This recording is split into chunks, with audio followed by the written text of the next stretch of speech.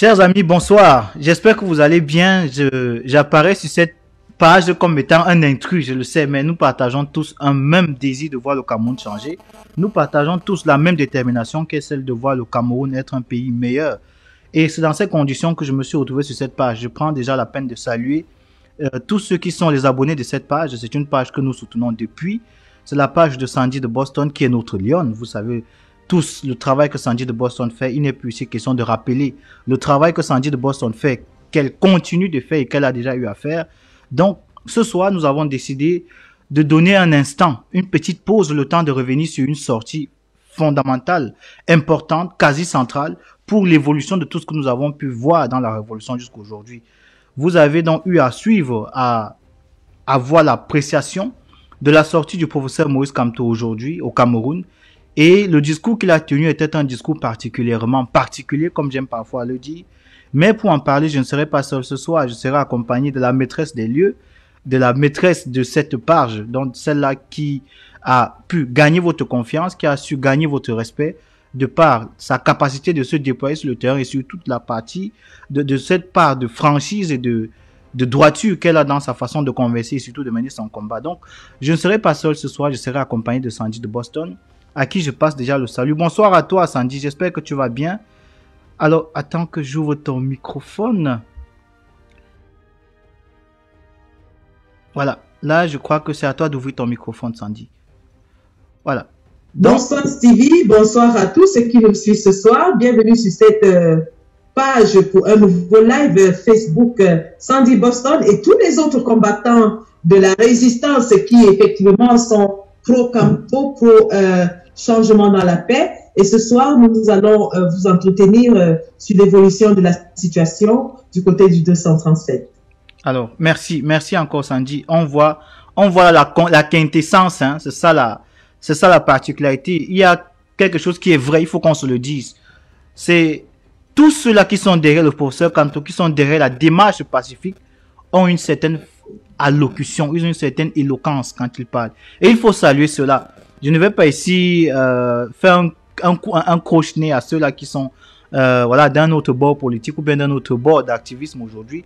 Mais la vérité est simple, c'est que le professeur Moïse Kamto nous a rassurés aujourd'hui je vais pas faire beaucoup de commentaires dans la vidéo que le professeur Kanto a fait aujourd'hui parce que je vais laisser le temps dans, ce, dans cette émission de vraiment revenir progressivement sur la plupart des dits qui ont été voilà euh, vus du côté du Cameroun, suivis du côté du Cameroun par le professeur Maurice Kamto. Voici une vidéo déjà qui va vous donner les couleurs de cette discussion que nous aurons ce soir. Changement dans la paix et dans les urnes. Il ne l'a plus jamais dit. Il ne l'a plus jamais dit. Ça, c'était un discours avant les élections qui correspondait à une période déterminée. Ça, c'est le discours. Le discours politique évolue. Le discours politique n'est pas statique. Ce n'est pas quelque chose qu'on écrit sur un bout de papier, ça reste là comme ça. Non.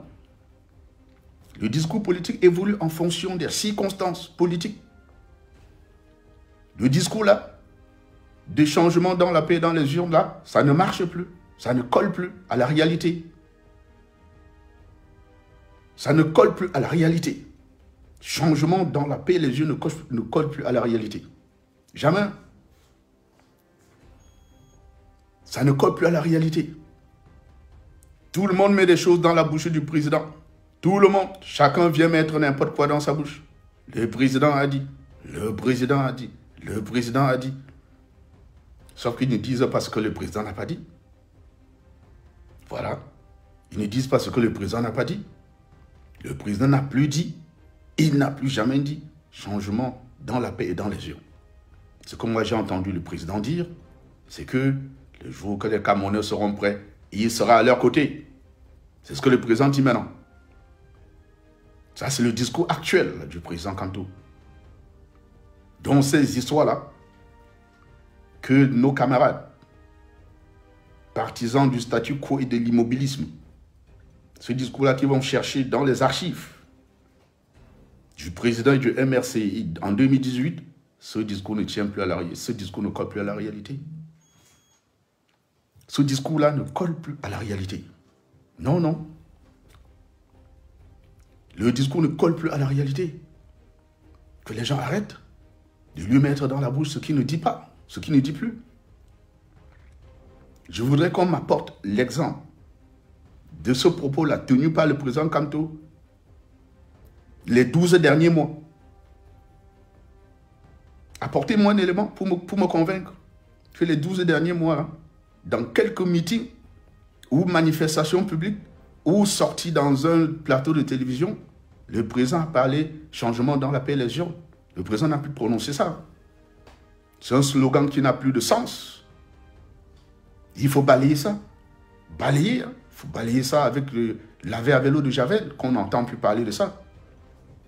Nous avons dit, nous voulons le changement par les urnes au Cameroun. Et dans la paix. Et nous aurons le changement dans la paix et par les. Est-ce que vous m'avez compris? La vitalité d'un parti politique, ce n'est pas seulement les meetings. Ce n'est pas seulement les rassemblements de foule. C'est la formation et la diffusion de nos idées dans la société camerounaise. Pour que le moment venu, chacun se sente concerné. J'entends et je vois sur les réseaux sociaux, partout, toutes sortes de personnes qu'on nous présente chaque jour comme étant le prochain candidat. Il n'y a aucun problème. Pourvu que chacun se soumette à l'ascension populaire. Vous avez compris Qu'on passe par le suffrage libre, transparent, équitable des Camerounais. Alors si vous remportez la victoire sur le MRC, le candidat du MRC, je serai le premier à venir vous féliciter. Je l'ai toujours dit. Donc soyez des militants au cœur léger, forts dans votre tête et dans vos convictions.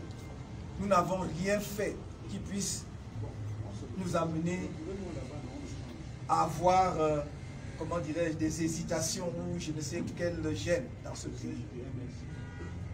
Je ne vois pas un autre parti qui a prêché la paix comme nous dans ce pays.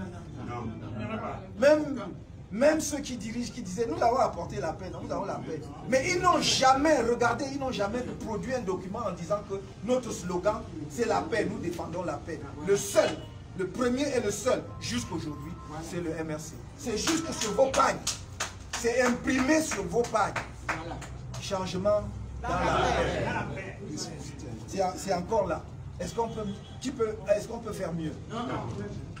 Mais il vous condamne en disant que vous avez fait la rébellion, insurrection, hostilité contre la patrie, et terrorisme, et tout ce que, même, même défaut de carte d'identité, le tribunal militaire juge le défaut de carte d'identité, tout, cela. Oui, tout à fait. Je crois que, je crois que les épreuves que nous avons traversées, que nous traversons encore, doivent nous fortifier. Je termine simplement en vous disant, cet adage, ce proverbe On ne jette le caillou à un arbre qui porte. Voilà, chers amis, vous avez suivi. Je retourne en studio donc maintenant et je vais faire un grand plan sur Sandy de Boston qui est notre... Voilà, c'est elle qui a la parole ce soir. Alors Sandy, tu as suivi la prise de parole du président élu le professeur Maurice Kamto, son excellence, le président national du MRC. Est-ce que la prise de parole du professeur Maurice Kamto, du président élu, ne démontre pas que cet homme est aussi proche de ses enfants qu'un père de famille? Parce que on a vu exactement la réponse aux questions que beaucoup de personnes se posent en diaspora. Je sais pas ce que toi tu en penses, mais je te donne totalement la parole. Voilà, tu es libre. Exprime-toi, Sandy.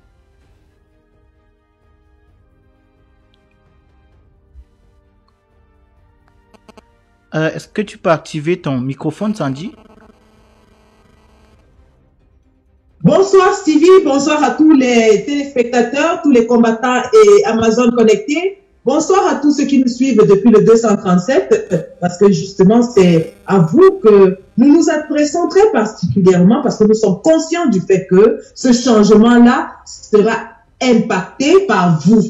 Euh, merci de suivre ce et merci à Stevie d'avoir organisé ce plateau spécial pour donner la parole à tous les combattants euh, de la diaspora qui euh, se battent tous les jours pour faire prévaloir l'idéologie et même euh, la, l'essence politique de notre leader naturel qui est le président élu, son Excellence Maurice Kamto.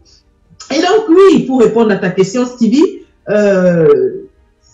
la sortie de notre président ce soir, ou alors cet après-midi, comme comme c'est le cas, euh, la sortie du président, justement, a rassuré beaucoup de personnes. La sortie du président élu a répondu à beaucoup de questions. La sortie du président élu a clarifié beaucoup de flou que certaines personnes ont essayé de faire justement euh, faire valoir ou alors installer euh, à dessein, hein, à gré, pour euh, justement euh, mettre beaucoup dans le doute quant à l'avenir ou alors la direction que prend notre combat. Mais le président, il était très serein, très calme, mais surtout très confiant. Et c'est ça qui, qui, qui, fait la particularité de cet homme. Cet homme que beaucoup ont qualifié de mou, que beaucoup ont qualifié de lent, que beaucoup ont qualifié de faible, mais qui continue de rester quand même très très serein face à la dictature atroce de M. Biya. N'oublions pas de rappeler que le président élu est en ce moment la cible numéro un du régime de Biya. Le président élu est celui sur qui tous les yeux sont braqués sur le plan politique, dans la scène politique camerounaise en ce moment, et cela depuis trois ans, depuis qu'il a réclamé sa victoire aux élections présidentielles.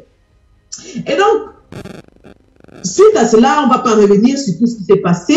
Nous sommes entrés en résistance. Nous sommes entrés en résistance suite à l'appel de notre président qui a dit que le peuple lui avait donné un mandat et qu'il comptait le défendre et qui a confirmé qu'il ne trahira jamais ce peuple. Et donc, euh, nous sommes entrés en résistance avec lui. Nous avons battu les pavés, toi certainement avec moi et tous les autres combattants de la diaspora. Nous l'avons fait et on chantait, on scandait à tue-tête comme ton président, comme ton président. Et donc, sauf qu'au fil du temps, euh, trois ans de combat, beaucoup, c'est, oh, pas beaucoup, hein, ça il faut le souligner, c'est quand même une petite minorité, euh, quelques trois, quatre combattants qui, ont décidé de questionner le combat de Maurice Kamto, qui ont décidé de lui demander quel est son bilan après trois ans de combat, qui ont estimé qu'ils ont assez marché, qu'ils ne marcheront plus en diaspora, qu'ils ne sont plus dans le changement, dans la paix, qu'eux, ils veulent accélérer les choses, ils veulent prendre les armes, ils veulent euh, déclarer la guerre au gouvernement camerounais. Et il y en a même un qui a dit qu'au bout d'un mois, leur objectif sera atteint. Et donc, euh, beaucoup de Camerounais ont commencé à croire à cette euh, affaire de guerre. Et donc, le discours du président Kamto a commencé à être dilué dans, ces, dans cette rhétorique de, de guerre nous avons, vous et moi et d'autres combattants, défendu autant que faire se peut l'idéologie de notre président qui nous a dit, je sais là où on va. Quelle que soit la durée de la nuit, le jour finit par se lever. Tout à fait. Et qui nous a rassuré que les heures les plus proches de l'aurore sont les plus sombres de la nuit. Et comme nous vivons les heures les plus sombres de la nuit, nous sommes certainement très très proches de l'aurore, mais beaucoup ont manifesté de l'impatience et ont décidé de prendre un autre chemin libre à eux. On ne peut pas embrigader les gens dans une logique qui ne leur parle plus. Libre à eux. Sauf que ces gens, lorsqu'ils décident de présenter leur rhétorique de guerre, dénigrent la méthode Camto en même temps. Cette méthode Camto à laquelle ils avaient adhéré, ce président dont ils avaient chanté les louanges en, longueur de journée sur, tous les, territoires de la diaspora, ils ont décidé subitement que ce n'était plus le leader et qu'ils allaient nous présenter un leader euh, de la révolution, comme ils ont appelé. Est-ce que tu peux, Sylvie, s'il te plaît, mhm. nous repasser la vidéo, euh, si tu l'as, bien sûr, mhm. j'espère que tu l'as. Oui, de, euh, de de la présentation justement de ce leader, enfin de l'annonce du leader. L'annonce, c'est vrai que ça prendrait un peu de temps. Mais on s'en souvient quand même. Le temps, tu peux continuer le temps que je trouve la vidéo effectivement dans mes, dans, dans mes archives. D'accord, ça Mhm. marche. Oui, oui. Et donc, aujourd'hui, donc, la sortie du président élu qui rappelle et, et réaffirme son engagement à changer le Cameroun dans la paix, mais surtout par les urnes. Viens jeter le pavé dans la mare, viens mettre tous ces pourfendeurs dans un désarroi impossible. Parce qu'on a suivi cette vidéo à l'entame de notre live où un des combattants disait hier, hier encore, hein, hier, Hier. que le changement dans la paix s'est dépassé. Ce discours est dépassé parce que le discours politique évolue. Que nous sommes allés fouiller, nous, les partisans du statu quo, sommes allés fouiller dans l'histoire, dans la préhistoire du président élu en 2018, avant les élections, lorsqu'il tenait ce discours, pour le faire revivre, parce que nous ne voulons rien faire, nous sommes les partisans de l'immobilisme. Et qui a dit à tout le monde que c'est une vieille histoire, cette histoire de changement dans la paix, que on ne l'a plus jamais dit depuis les élections, qu'il est passé à autre chose, que maintenant il parle d'autre chose. Il le disait avec toute l'assurance du monde. Et pour se donner la crédibilité qui va avec ses propos, il vous a certainement rappelé ses faits d'armes dans le combat pour vous dire que il a la stature, la posture, l'intégrité et l'autorité de dire ce que Kanto a dit ou ce qu'il n'a pas dit. Je répète, cet individu qui a justement attribué des propos mensongers au président Kanto pour se donner de l'importance, pour, se donner justement l'autorité qu'il faut pour décréter cela, vous a rappelé ses faits d'armes et vous a dit tout ce qu'il a fait dans le combat, justement, pour vous dire qu'il a, un, la stature, la posture, l'autorité et la crédibilité pour vous dire ce que le président élu a dit ou n'a pas dit, ou alors que il est bien placé pour nous dire que le changement dans la peine ne fait plus partie des objectifs du président Kamto et que d'ailleurs le président Kamto n'en a plus parlé depuis les élections et que c'est une, une, une, invention de notre part qui sont allés fouiller dans les poubelles du MRC pour venir le, le, le placarder encore parce que nous sommes des adeptes du, du, du statu quo et du, de l'immobilisme. Alors, c'est intéressant parce que Mhm. le président élu fait sa sortie cet après-midi. Et qu'est-ce qu'il dit à ses partisans?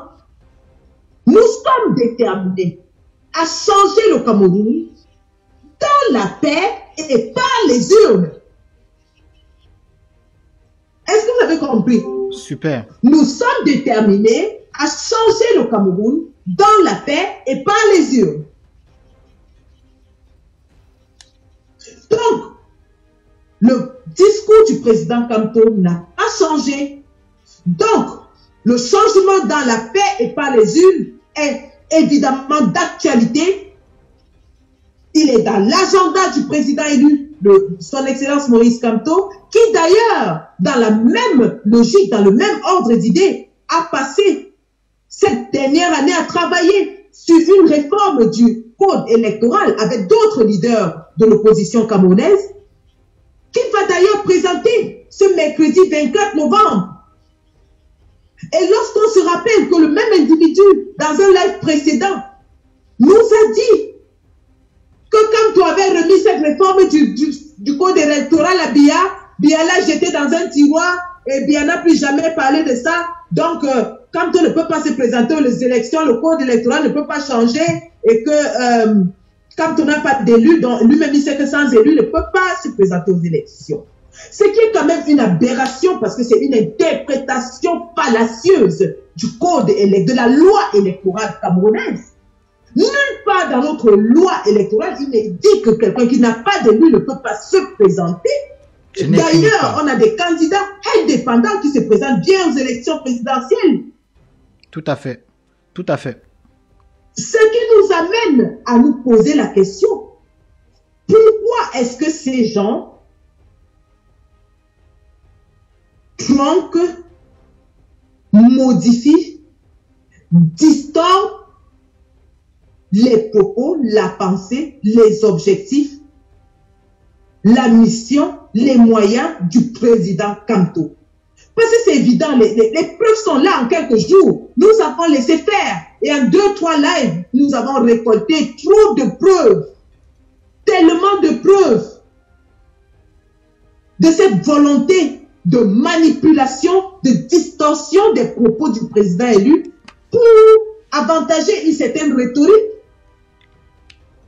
Ceci au détriment même de l'intégrité morale du président Kanto.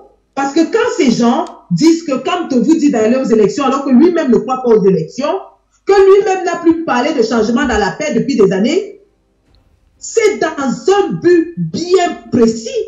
Mais, quel pourrait être le but, Quelqu'un qui a 30 ans de combat mhm. ferait des sorties avec des affirmations aussi graves, aussi graves sur, un, sur le, le l'opposant majeur à M. Biya sans des raisons particulières. On se pose les bonnes questions.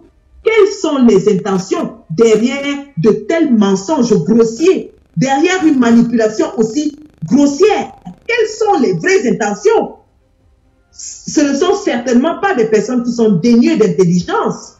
Tout au contraire, lorsqu'une personne dotée d'intelligence, d'expérience, et pétri de talent manipule la vérité aussi savamment, il y a une volonté manifeste cachée derrière et nous allons savoir.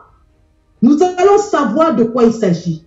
Pourquoi est-ce que ces gens sont engagés résolument dans, un, dans une méthode de dénigrement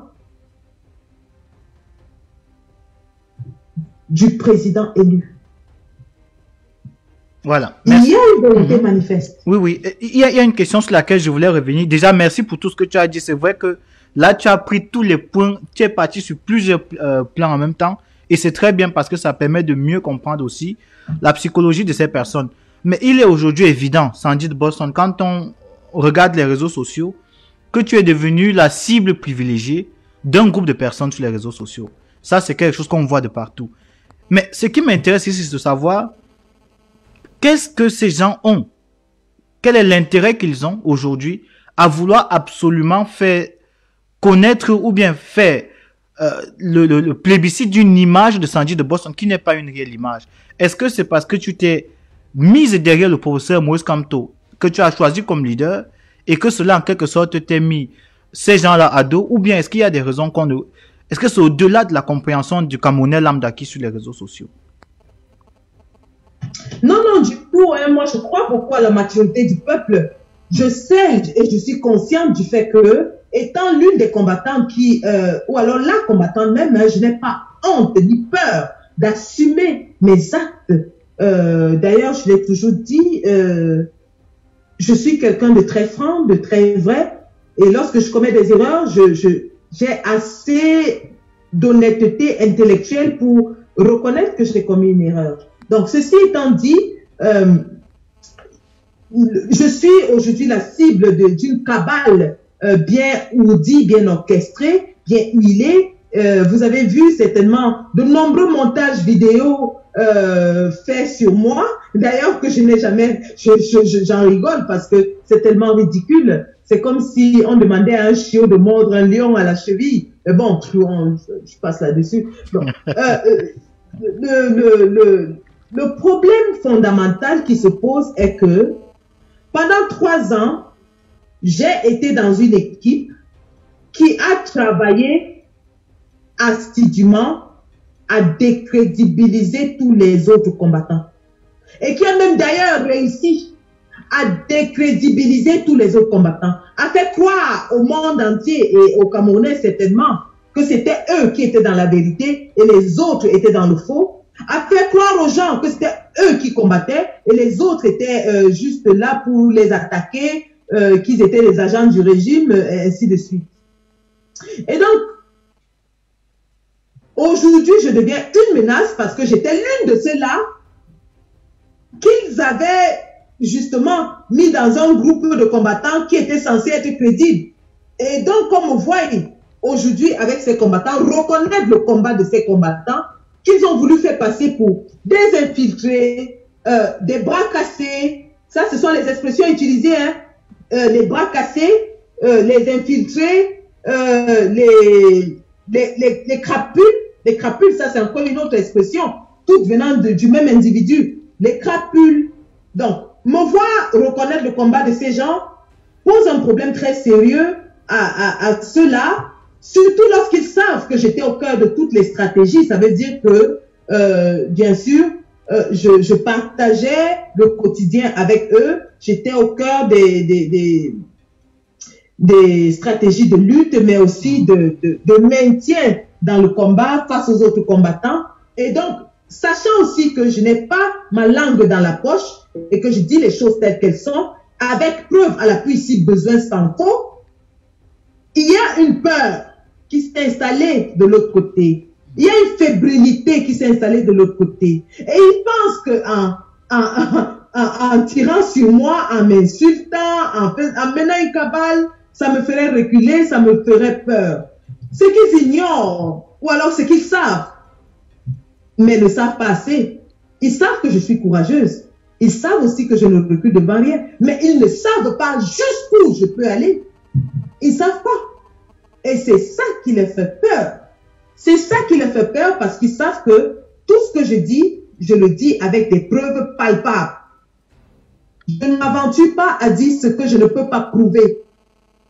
Et ils savent aussi que j'ai, vu, entendu et su beaucoup de choses qui, si je le voulais, pourrait causer beaucoup de préjudice. Mais comme je l'ai toujours répété, je suis dans un combat d'idées et non de personnes. Donc, on peut s'amuser, on peut rigoler à se donner des petits noms et tout ça, comme on m'appelle mes dents caramélisées, ainsi de suite. On peut s'amuser à tout ça. Certains rentreront en dessous de la ceinture et diront tout et n'importe quoi de moi. La vérité est que Très peu de gens me connaissent intimement, c'est-à-dire connaissent ma vie privée, mes enfants, mon époux, mon travail, ainsi de suite. Très, très, ils sont, ils sont au trop poids dans ce combat, qui me connaissent jusqu'à jusqu'à mon domicile. Parmi lesquels le caporal Grier, qui est le seul combattant qui, a, qui est entré dans ma maison. Emmanuel Kemta. Le caporal Grier est le seul combattant dans toute cette révolution qui a mis les pieds chez moi. Donc, ils le savent, ils savent que je suis quelqu'un de, de, très ouvert, mais aussi de très fermé. Et je ne tomberai pas dans les, les petites disputes de personnes. Non, non, non, non. On combat sur le plan des idées. On oppose des arguments aux arguments. Je ne rentrerai pas dans ce jeu dans lequel ils veulent m'entraîner, justement parce que je sais que c'est comme ça qu'ils ont procédé pour décrédibiliser les autres combattants qui avaient justement mordu à la leçon et qui était tombé dans le jeu des clashs. Parce que le, le, le principe, c'est quoi? C'est d'attaquer un combattant. On l'attaque pas soi-même, mais on envoie des faux profils l'attaquer. On, envoie des faux profils qui attaquent le combattant. Le, pauvre combattant qui n'a pas de faux profil pour le défendre est obligé de se défendre lui-même.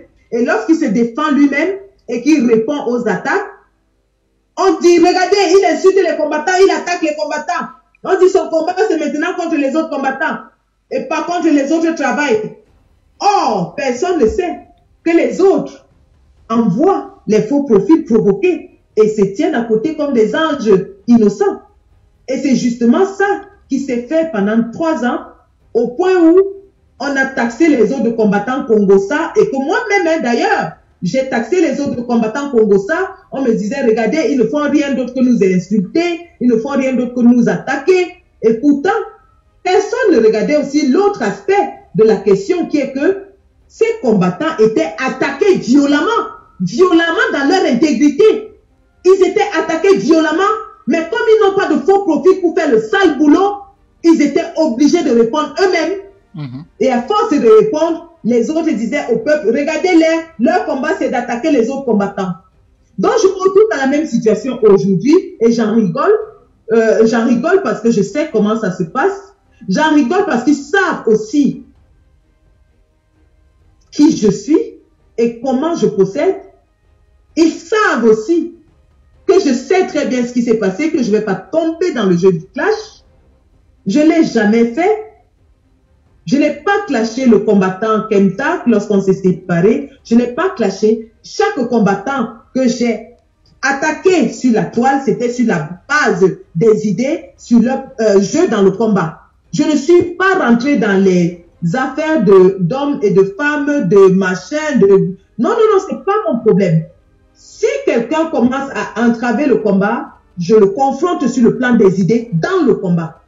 Et ce jeu, à ce jeu, je me suis aguerri. À force de se battre, je me suis aguerri. Et tous ceux-là savent que lorsqu'on en arrive là, je suis une bête redoutable. Donc, voilà donc ce qui se passe à peu près, mon cher euh, Stevie Sam. Ces attaques euh, ne m'effleurent pas, n'effleurent pas ma conviction, n'effleurent pas mon combat, n'effleurent pas la direction que je prends en ce moment dans mon combat. Super, super. Alors, il y a, il y a euh, beaucoup de réactions là, il y a beaucoup de commentaires. Hein. Vraiment, ne soyez pas déçus si on ne lit pas tous les commentaires parce qu'il y a énormément de réactions. Alors, je voulais demander, Sandy, quand on se retrouve aujourd'hui de ce côté-là, quand on est attaqué, insulté, j'ai vu des tas de vidéos faites euh, sur toi où on est reparti dans ton parcours en tant qu'activiste depuis 2018. On a recherché des vidéos pour essayer de chercher, de trouver en quelque sorte une dissonance dans ton discours. Mais ce que je me demande aujourd'hui, c'est de savoir si, et forcément beaucoup de personnes qui nous suivent se la posent cette question, c'est de savoir si est-ce que ce groupe dont on parle là n'est pas un groupe qui est allergique à la réflexion. Parce que, au vu de ce qui se passe sur les réseaux sociaux, il y a beaucoup de personnes qui sont quittées de ce mouvement-là. Et quand on suit leur discours, ils sont d'une cohérence sans nul autre pareil. Alors, est-ce que c'est ce groupe qui empêche de réfléchir ou est-ce que c'est une fois qu'on sort de ce groupe qu'on voit clairement leur incapacité de penser? Je sais pas. C'est une question que je me pose depuis. oui, la question en vaut la peine, hein, mais bon, j'imagine que je, en ce qui me concerne, en tout cas, je pense pas que mon, ma façon de réfléchir ait changé fondamentalement, mais ce que je pense, c'est que c'est ma façon de voir le combat et certainement la façon des autres de voir le combat qui a changé une fois qu'ils qu'ils ont pris un recul. Parce que lorsque vous êtes avec certaines personnes, avec ce groupe notamment, on vous entraîne dans la et ils condamnent la déification. Ils nous disent que nous ne devons pas déifier le président élu Maurice Kamto. Mais ils sont justement dans la déification d'un individu. Donc, vous devez, dans ce groupe, si vous chantez les louanges, danser, dormir et crier un individu, le moment où vous cessez de le faire, vous devenez pestiféré, on doit vous vilipender, vous, devez, vous devenez un, un, un infiltré, vous devenez tout ce qui a de mauvais sur la terre. Subitement, mes, amis d'hier se réveille et il se rend compte que oh, c'est la nièce de Mbengo. Alors que je l'avais révélé au tout début du combat lorsque nous étions à la conférence de Berlin. Et quand je faisais certainement le sale boulot pour, pour eux, j'étais pas l'infiltré, j'étais pas la nièce de Mbengo, parce que justement, j'allais, je montais au créneau et que j'attrapais les adversaires à la gauche, je les déchiquetais. Tout le monde applaudissait, elle est très forte. Général Sandy ne a jamais sa cible. Maintenant qu'aujourd'hui, je dis, euh, je prends un pas de recul, je dis, oh, je, je pose des bonnes questions. Je dis, OK, les gars, ça nous a amusé, c'était bien de se battre contre le, groupe d'en face et de, les appeler de tous les noms d'oiseaux, de les affabuler, ainsi de suite. Bon, revenons à l'essentiel. Où est-ce qu'on en est trois ans plus tard? Parce que c'est très facile de s'asseoir et de demander au président élu Maurice Kamto, comme j'ai entendu la dame de Lyon lui demander quel était son bilan de trois ans de combat. Ben moi, j'ai posé la question. Quel est le bilan de trois ans de combat de la basse Parce que quand j'entre dans la basse, c'est avec l'objectif de mener, de déporter le combat au 237. L'objectif pour moi, ma vision de la base, c'était que la base devait avoir des petites cellules flottantes au 237, des petites unités euh, d'action qui devaient mener des actions fortes, comme nous les menons ici en diaspora, mhm. contre les pontes du régime, et que justement, ça allait créer le chaos, ça allait, enfin, ça allait amener la panique, quoi. Parce qu'on était dans cette logique-là lorsqu'on commençait le combat. C'était justement ça qu'il fallait faire lorsqu'on allait attaquer les ambassades, lorsqu'on allait faire les actions coup de poing, ainsi de suite. C'était de créer la psychose, de les faire paniquer. Et nous avons fait paniquer le régime. Nous avons fait paniquer. Moi, j'ai vu un ambassadeur du Cameroun qui ne savait plus où donner de la tête lorsqu'il était face à nous à, à Bruxelles, où nous l'avons pourchassé dans les bois. On a fait paniquer ces gens. Donc, l'idée, c'était de reproduire cela au Cameroun, d'avoir des combattants sur le terrain qui vont nous mener des actions coup de poing sur le terrain. Mais au fur et à mesure que le temps passait, euh, on se refermait dans une secte. C'est devenu une secte en fait. On, on éliminait des gens autour de nous, on ne recrutait pas, on n'avait pas l'ambition de, de déporter notre combat, mais plutôt de glorifier un individu. Et c'est à ce moment que je me suis rendu compte que finalement mon combat c'est quoi? Mon combat c'est de chanter tous les jours que tel est leader, tel est leader, tel est leader, tel n'est pas leader, tel n'est pas leader, tel n'est pas leader. Non, certainement pas. Si je suis pas rentré dans ce combat pour cela, je n'ai pas sacrifié la vie de mes enfants pour une femme. Et je répète encore, une mère. Quand je commence ce combat, mon dernier garçon a trois ans. Il fait la maternelle. Je n'ai jamais célébré l'anniversaire de mon fils qui est né en juillet. Parce que depuis trois ans, chaque juillet, je suis à la chasse de billard. Ça fait trois ans, chaque juillet, je suis à la chasse de billard. Je rate l'anniversaire de mon dernier fils qui ne connaît pas ce qu'on appelle une fête d'anniversaire, un anniversaire où sa maman est avec lui. Je ne sacrifie pas tout cela pour chanter la louange d'un individu qui certainement n'est pas plus combattant que d'autres combattants. Et là, je me remets en question, je dis, il y a quelque chose qui me tourne pas rond. Il y a quelque chose qui me tourne pas rond. Et à partir du moment où tu te remets en question, tu poses des bonnes questions, on commence à trouver que euh, tu, tu ne colles plus avec l'idéologie du truc où il faut chanter ayo bayo bayo. Tu es une infiltrée. Euh, tu deviens déjà infiltré là. tu commences à devenir infiltré. Tu commences à parler comme le régime d'IA. Euh, et on se souvient même en fait que tu es même la nièce de Mbongo. Euh, et, et, et même, il y avait il y a des choses qu'on faisait et qu'on ne te dit pas parce que tu es la nièce de Mbongo, tu es infiltré, tu vas trahir. Donc en fait, c'est ça que j'ai vécu. Et aujourd'hui, ces petites attaques à la noix démontrent justement une incapacité à affronter les gens sur le plan des idées, comme tu le disais. Parce que lorsqu'on se met sur le plan des idées, en face, il n'y a pas d'argument. Tout ce qu'on va opposer en face, c'est que, ah, c'est une infiltrée. Ah, vous voyez, elle attaque les combattants. Ah, c'est la nièce de Mbongo. Alors que, plus profondeur que Mbongo dans ce combat, il n'y en a pas. Il y a encore deux jours, je rappelais à tout le monde que, et ça c'est une vérité, Mbongo a les armes et il a des hommes sur le terrain. Donc, euh, lancer la guerre et il va s'en accaparer. Et, et ce n'est que la vérité. Je serai la nièce de Mbongo que je me tairai et j'attendrai le moment venu. Je vous encouragerai justement à faire la guerre, sachant que mon tonton a les armes et que dès que le moment sera venu, il va vous, couper l'herbe sous les pieds, il va me donner un poste. Mais qui est fou? Mbongo, tous ses enfants sont entrés à l'ENAM. Tous ses enfants sont au Cameroun dans la mangeoire. Donc, il m'aimerait plus que ses enfants pour m'envoyer en Europe et me verser toute sa fortune qui, au passage, il n'a plus. Ça, beaucoup de gens ne le savent pas. Les biens ont été saisis partout, que ce soit au Cameroun ou en Europe. Euh, ça, au passage. Euh, donc, je serais plus, roi, plus royaliste que le roi, au point où il abandonnerait ses enfants et il me jetterait en Angleterre. L'Angleterre n'étant pas le pays le moins cher en Europe, d'ailleurs, hein, ça, il faut le rappeler. Et il me verserait beaucoup d'argent comme ça, pendant que ses propres enfants sont en train de galérer dans les bureaux miteux, les bureaux miteux au Cameroun. Sortez du rêve, les gars. Sortez du rêve. Je travaille dur. Ma journée, c'est 13 heures par semaine. Je travaille 6 jours par semaine. Je gagne bien ma vie, mais je travaille dur. Je travaille dur pour cela. Et donc, j'invite dans tout cela à sortir à 4 h 5 heures du matin, comme nous autres, et savoir ce que c'est que de travailler dur avant de juger les gens. Quelle est la définition que tu peux donner à Sandy de Boston? C'est la chouqueuse, c'est la chouqueuse des fémus, c'est la femme intellectuelle, c'est la femme, c'est- qui Sandy de Boston? Je mettrais entre, entre guillemets Sandy sacrifié. Sacrifié parce que je suis entrée dans ce combat avec tout ce que j'avais. Tout, je dis bien tout. J'ai tout donné et je continue de donner tout.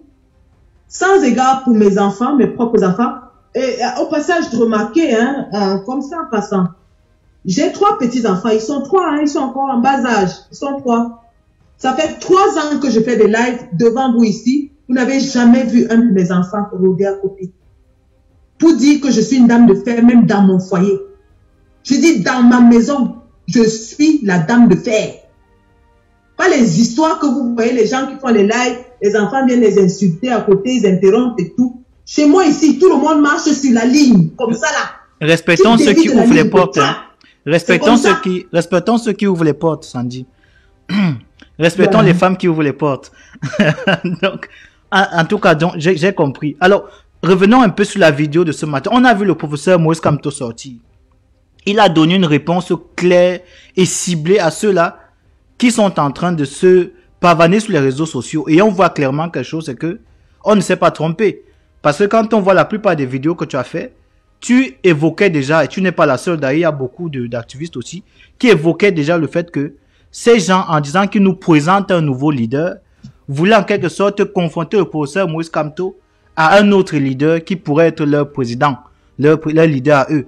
Et le professeur Maurice Kamto répond à cette question-là. Comment est-ce que, euh, comment est-ce que tu vois ça? Est-ce que maintenant, on peut espérer encore quelque chose, un changement de cette part de, de nos frères-là, ou bien les carottes sont cuites? Ben, je n'aimerais pas être à leur place ce soir parce que le président Kamto a remis les pendules à l'heure. Et le président Kamto nous a démontré ainsi, si besoin s'en fallait, hein, qu'il suit tout. Il est au courant de tout. Il a fait quelques petites évocations. Il a dit, il entend des- dans les réseaux des gens dire que, euh, voilà, il est qu'il est mou et tout. il, a, il a bien évoqué. Il a aussi parlé, il a dit qu'il a, il a aussi entendu dans les réseaux des gens qui disent que euh, il laisse les prisonniers pour aller se pavaner en Europe. On se, on se rappelle le discours qu'avait tenu une dame qui fait les, les lives le matin lorsqu'on annonçait la marche du 3 juillet, qui avait dit que Kanto ferait mieux d'aller d'abord libérer tous les prisonniers au, au pays avant de venir en Europe. Le président l'a certainement entendu.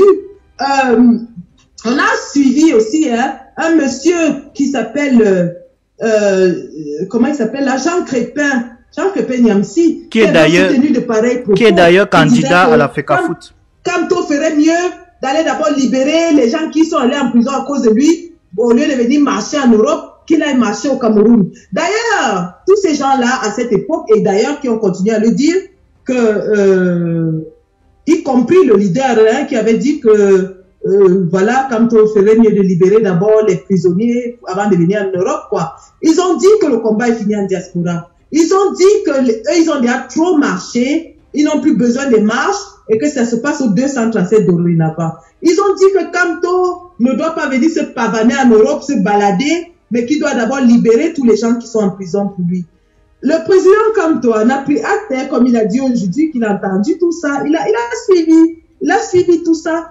Euh, et la réponse qu'il a donnée, c'est que, que les prisonniers sachent que nous sommes toujours avec eux. Contrairement à certaines personnes qui organisent des actions, notamment les villes mortes, dans lesquelles certains combattants sont en prison jusqu'aujourd'hui et les ont abandonnés en prison, le président Kamto prend soin, avec le MRC, prennent soin des prisonniers. D'ailleurs, il a demandé aujourd'hui quel est le parti qui peut le faire et qui l'a déjà fait? Plus de 1000, 2000 prisonniers que le, MRC a eu depuis 2018 et aucun d'entre eux n'a passé une journée sans manger dans toute l'étendue du territoire. Que ce soit à Bafoussam, à Douala, à Yaoundé, à Yoko, dans toutes les prisons où il y a un prisonnier MRC, il y a un militant MRC ou une militante MRC qui va lui faire à manger et qui va lui donner à manger. Personne ne l'a jamais fait. Donc, les gens qui critiquent le président Kamto, qui lui demandent d'aller d'abord libérer les gens qu'il a mis en prison avant de venir se balader en Europe, qu'ils nous disent aussi ce que eux ils ont fait pour leurs prisonniers, parce que ces gens ont aussi leurs prisonniers, hein, qui sont allés en prison pour le brûler, brûler, et pour les villes mortes. N'oublions pas Men- Mendozé, par exemple. J'en profite ici, Mendozé- puisque N'oublions il y pas en Mendozé. a un qui m'a dit que je mentais lorsque j'ai dit qu'ils avaient mis des gens en prison. Il y en a un qui a fait une sortie pour me dire que je suis menteuse et que j'ai menti sur ces faits. Je sais pas, mon téléphone s'il ne donne pas peut-être. J'allais vous faire écouter, euh, avec la permission bien sûr de, Bien, du- bien sûr, bien du sûr. combattant en question. Mhm. Euh, J'espère que ça va donner parce que j'ai des soucis. J'ai réactualisé ce téléphone, ça me dérange un tout petit peu. Euh, là, là, là, là, là. Donc, euh, pour tous ceux, mes- oui, oui, le temps que tu cherches, Oui, pour tous ceux qui sont connectés Oui, là, n'hésitez pas à faire un tour de partage. Bientôt, on va ouvrir l'antenne pour que d'autres personnes nous rejoignent et qu'on échange ensemble sur ce, voilà, sur la sortie du professeur Moïse Kamto aujourd'hui, du président élu. Euh, moi, en ce qui me concerne, hein, le temps que Sandy cherche l'élément qu'elle est en train de chercher, on a déjà pratiquement tout dit. Et la sortie du professeur Moïse Kamto aujourd'hui, moi, ça m'a permis de me reposer. Je crois que les semaines qui vont venir, je vais un peu me reposer. Parce que je crois que là, à travers cette sortie, le professeur Kamto a remis la balle au centre. Et maintenant, chaque Camerounais sait exactement quelle est la ligne, la direction que nous suivrons. Et je suis vraiment ravi de cela. C'est bon, tu as trouvé l'élément? Ah non, c'est encore en train de chercher. En train de chercher. Oui. Soucis. Mais je peux te confirmer que moi-même, je sais de mes propres sources qu'il y a un monsieur qui a été emprisonné à Douala. Ça fait déjà des lustres que ce monsieur est en prison. Et ils ont fait, et ce qui est intéressant, c'est que ce monsieur demande parfois même le soutien des activistes, même pas des WhatsApp. Et c'est par là que nous avons eu l'information. Donc tu n'es pas, euh, on- je ne pourrais pas dire Tout que tu es une menteuse je dans ce sens. ressortir. Mhm. Au passage, donc, ces personnes ont organisé de multiples levées de fonds à leur avantage. Je ne pense pas qu'à une seule occasion, avec ces levées de fonds, ils aient même envoyé l'argent de baigner à ce monsieur qui est en prison pour avoir voulu exécuter leur plan foireux de ville morte au Cameroun. Ça, il faut le dire. Donc, euh, on, on- c'est on est- c'est très facile de demander des bilans à M. Camto, de le critiquer. D'ailleurs, il appelle à la critique. N'ai-je pas dit d'ailleurs Je suis l'une des critiques du, du MRC, hein, mais j'ai toujours dit une critique stérile n'est que puérile. Lorsqu'on critique, il faut apporter des solutions dans le but d'améliorer. Critiquer pour, le- pour le- le besoin de critiquer n'est que paresse intellectuelle et n'est que critique puérile et stérile. Donc, euh, des gens qui se lancent comme ça dans la destruction du MRC. D'ailleurs, il y en a qui nous ont promis qu'ils vont détruire le MRC. Ils ont dit que le MRC était la gangrène du combat. Euh, on se demande bien si le MRC est le seul parti qui est ciblé, le seul parti qui continue à lutter férocement contre la dictature, le MRC est le seul parti où, si on vous voit porter l'habit du MRC, on vous jette en prison au Cameroun. D'ailleurs, il y a eu beaucoup de cas où on a arrêté des gens qui portaient simplement le pain du MRC, on les a fouettés, on les a bastonnés, on les a martyrisés. Alors, pourquoi voudrait-on détruire? Pour quelle raison? Quelqu'un qui combat vraiment la dictature voudrait détruire le seul parti politique qui combat justement cette dictature. Est-ce que ça a un sens? C'est comme quand on nous dit on, va acheter, surtout pas hein, Maurice Kamto n'est pas notre leader, hein, il, ne nous a pas envoyé, hein, euh, on n'agit pas en son nom, hein, mais on va quand même acheter les armes pour tuer les Camerounais, mais après on dit non, c'est euh, quand on va finir de les tuer là, on va prendre Maurice Kamto, installer à la tête du Cameroun. Oh là, attention, attention à se demander. Vraiment, lorsqu'on ajoute un, un lorsqu'on met un, un ensemble, on se pose des questions. Un peu trop de, de choses grossières pour passer de façon anodine. Non. On peut pas, un, affirmer qu'on veut détruire le MRC. Deux, affirmer qu'on veut faire la guerre au Cameroun pour mettre Kamto à la tête de l'État. euh, et que tout cela soit vraiment anodin. Quatre, trois, ou alors trois, je dirais, euh, déformer grossièrement les propos du président, comme, comme on l'a entendu dans la vidéo précédente, et qu'on additionne tout ça pour que ce soit anodin. Je vais revenir sur un live en, euh, seul Mhm. sur le fil conducteur de tous ces événements. Et je pense qu'il faut à un moment donné que nous éclaircissions tout cela dans l'esprit des Camerounais qui nous suivent et qui se demandent certainement ce qui se passe dans le combat en diaspora. À un moment donné, il faudra qu'on se pose et qu'on dise les vérités, les vérités telles qu'elles sont, sans langue de bois, parce que jusqu'ici, je pense qu'on ne les a pas encore dites et que beaucoup de gens pensent que nous sommes dans un clash de personnalité. Non, nous ne sommes pas dans un clash. Le Cameroun est plus grand que cela. Lorsque vous voyez une comme moi qui, qui me suis crêpé le chignon avec euh, Sibi, avec Kamoa, ainsi de suite, qu'on se mette ensemble, vous comprenez que le Cameroun est plus grand que nos petites querelles. Et donc, nous sommes prêts à taire nos querelles pour travailler pour le Cameroun. Mais ces gens qui veulent à tout prix que la haine continue de persister dans le combat, ces gens qui, veulent à tout prix que le MRC soit détruit, que les paroles du président Kamto soient dis- euh, euh, déformées, quel est leur objectif? Nous allons revenir là-dessus. Et je pense que ça fait déjà beaucoup pour qu'on continue d'ignorer le fil conducteur de tous ces événements. Et on va revenir là-dessus. Super, super, c'est assez propre. Donc voilà, euh, ceux qui sont connectés, dans exactement 5 minutes, on va ouvrir l'antenne. Il ne faut pas qu'on monopolise la soirée de Sandy. Euh, ce soir, c'est le week-end je suppose que Sandy a des responsabilités. On m'a dit qu'on on n'occupe pas les femmes qui sont chez elles comme ça les soirées sans, sans prévenir en avance. Donc, ceux qui ont des questions, préparez vos questions. Les activistes qui sont là, ceux qui sont bien sûr ouverts à la discussion peuvent rejoindre notre discussion dans cinq minutes. On va discuter ensemble pour conclure cette thématique. Alors, je vais poser la dernière question parce que ce n'est pas un débat. Sandy n'est pas, elle n'est pas face à un paquet où elle va répondre à des questions. Non, non, non. Je voulais juste avoir la possibilité de revenir avec elle sur ce qui s'est passé au Cameroun. Alors, il y a quelque chose qui m'a marqué particulièrement aujourd'hui, c'est que le professeur Maurice Kamto est généralement tagué de quelqu'un qui a créé une secte. La secte des gens du village. On a ça bien des appellations. Mais avec l'évolution des discours au Cameroun, on avait l'impression que le MSC ne pouvait plus engranger du monde.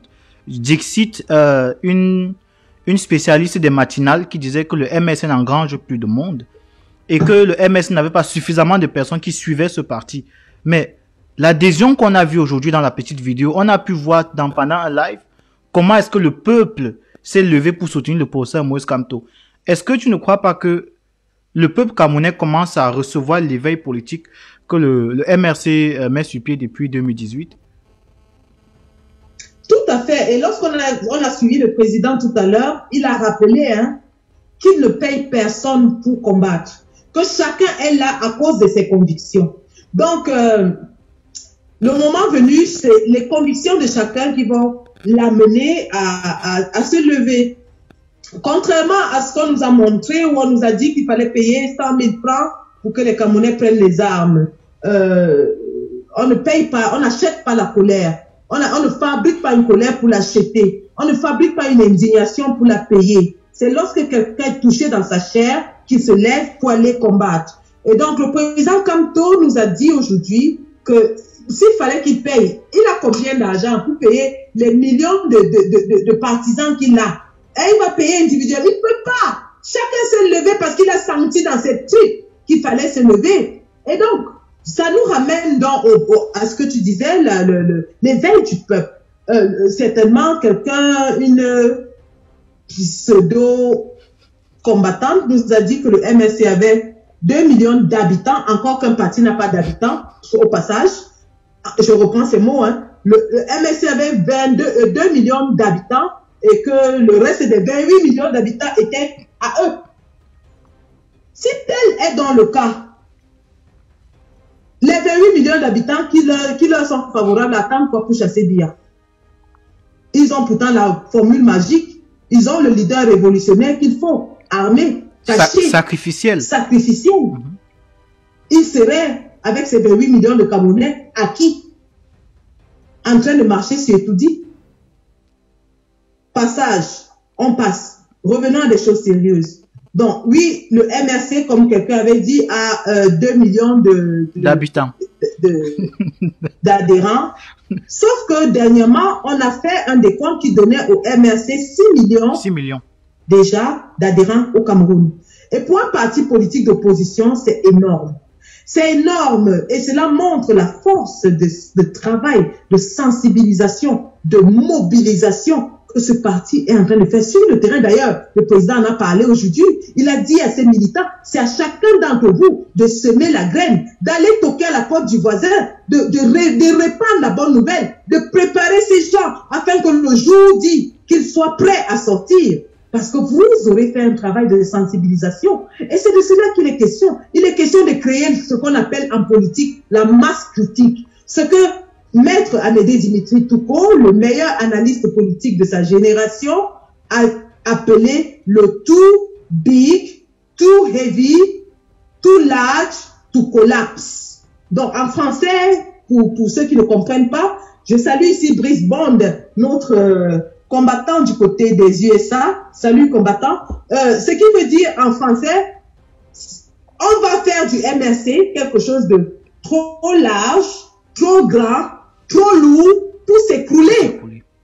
Parce que si ce parti réussit à avoir d'ici 2025, disons par exemple, je ne sais pas quand est-ce que M. Biya et ses, ses, voudront bien faire les élections, mais de toute façon, nous travaillons et le parti certainement travaille je salue ici l'alternance Camto qui fait un travail formidable de sensibilisation sur le terrain. Et c'est de ça qu'il est question. Il est question de mettre ça dans l'esprit, le subconscient des Camerounais, qu'ils doivent se lever le moment venu.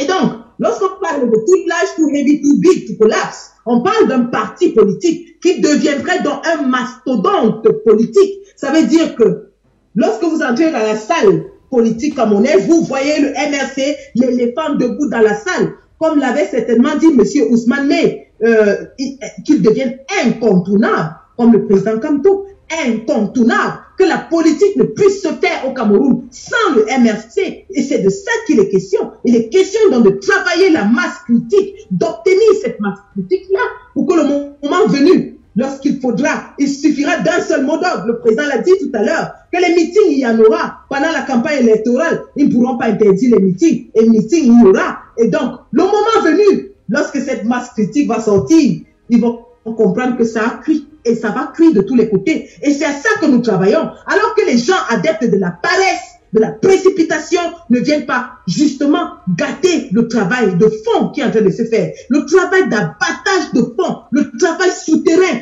le travail de fourni qui est en train de se faire par ces vaillants combattants sur le terrain. Ceux-là même qu'on a qualifiés de mangeurs de tarot, de combattants Facebook. Euh, hommage ici à Mayer Foni qui a subi les foudres des faux profils qui ont insulté son gros ventre, sa gourmandise, qui ont dit qu'il est un combattant Facebook, mangeur de tarot qui ne fout rien. Le pauvre Maya Foni était obligé de se justifier à coup de postes et de photos que j'ai d'ailleurs encore dans mon mur pour démontrer qu'il a toujours été sur le terrain, qu'il a pas été arrêté sur le terrain. Et on a vu sa bravoure, encore une fois, lorsqu'il est allé dans ce stade de la Cannes avec ce t-shirt pour dénoncer, montrant ici au Camerounais qu'il y a plusieurs manières de contester. Il ne suffit pas seulement de marcher, ils peuvent aussi aller dans cette foutue Cannes et exposer l'horreur du régime de M. Biya. Donc, Maya Foni Kudos, Kudos à tous les combattants qui sont sur le terrain en ce moment 237, qui font face à la fureur du régime de M. Biya, qui sont arrêtés arbitrairement, qui ne peuvent pas travailler, qui ne peuvent pas avoir des emplois décents, qui sont obligés d'avoir de, de, des petites aides pour survivre. Ceux-là, c'est eux les combattants. C'est eux qui vont sortir quand il faudra libérer ce pays. Et non nous autres, qui sommes certainement assis dans nos salons feutrés en, en diaspora, leur donnant des ordres et les traitant comme des sous-fifres. Non, le respect doit régner dans ce combat et nous devons nous rappeler que ce sont ces combattants sur le terrain, certainement comme Maurice Kamto l'a rappelé aujourd'hui, il est sur le terrain camerounais. Nous, on attend le leader sacrificiel sur le terrain. Il ne doit pas sortir en diaspora. Parce que si le leader sacrificiel là, il sort en diaspora, moi, je vais aller l'attraper avec mes deux mains. Il doit sortir au Cameroun. Le leader sacrificiel qu'on nous a saluté là, il doit être à la poste centrale, comme le, président Maurice Kamto combat sur place à Tanta Babara. C'est de ça qu'il est question. Le président Maurice Kamto nous a rappelé que lui-même il était en prison. Donc on ne fasse pas comme si peut-être il a envoyé des gens en prison et puis lui il est parti. Lui-même il a sacrifié neuf mois de sa vie en prison. Et il nous a dit encore aujourd'hui que tout le monde sacrifie dans ce combat, y compris lui-même, et qu'il ne vient pas pleurer devant nos yeux. Pour nous dire que oh, j'ai sacrifié ci, oh, j'ai sacrifié ça. Comme beaucoup de gens qui, pour avoir perdu un petit orteil, un petit doigt ou un saint franc viennent chanter dans la toile, oh, j'ai perdu X, oh, j'ai perdu ça, oh, à cause du combat, je ne peux plus faire ci, oh, à cause du combat. Mais ceux qui sont en prison au Cameroun font quoi? Ceux qui sont en prison au Cameroun font quoi? Est-ce qu'ils viennent pleurnicher dans les réseaux sociaux tous les jours? Ceux-mêmes que vous avez envoyés en prison, est-ce qu'ils viennent pleurnicher? Philomon Moukam m'a envoyé un message où il a appelé au SOS, où il criait à l'aide. Mais il n'est pas venu pleurer dans les réseaux pour dire qu'il est tombé en prison à cause du brûlé brûlé et qu'il n'a pas de quoi manger. Donc, pour ceux qui te disent, pour ceux qui te disent que tu mens quand tu parles du prisonnier là, il faut leur dire que le grand frère de Philémon Moukam est ici en Allemagne avec nous donc je connais son grand ah, frère. Donc au cas où il, il s'appelle Moukam, son grand frère s'appelle Moukam, il est en Allemagne aussi. Donc, John Moukam. Voilà. Son frère ici en Allemagne. Voilà. Donc son frère qui est en prison, ce n'est pas une histoire de, il est allé en prison parce qu'il suivait. Je vais le sortir dans mon prochain live. Où le combattant me supplie de lui venir en aide. Certainement, je lui serais venu en aide à l'époque si je, moi-même j'étais pas en difficulté. Hmm. Mais c'est des combattants qu'on doit aider et que les commanditaires doivent certainement enfin se pencher sur leurs problèmes et les aider au lieu d'engranger les laitiers qu'ils accumulent pour eux-mêmes sans jamais penser à cela.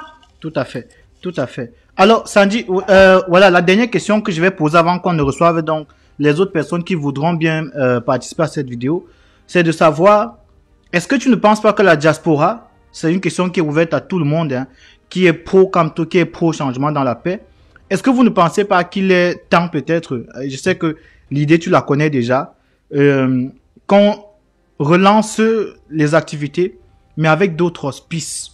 Ça veut dire avec des personnes qui sont aujourd'hui connues. Parce que j'estime que le peuple camerounais de la diaspora et même du pays ont manqué beaucoup de choses parce que les discours ont été dilués par beaucoup de problèmes.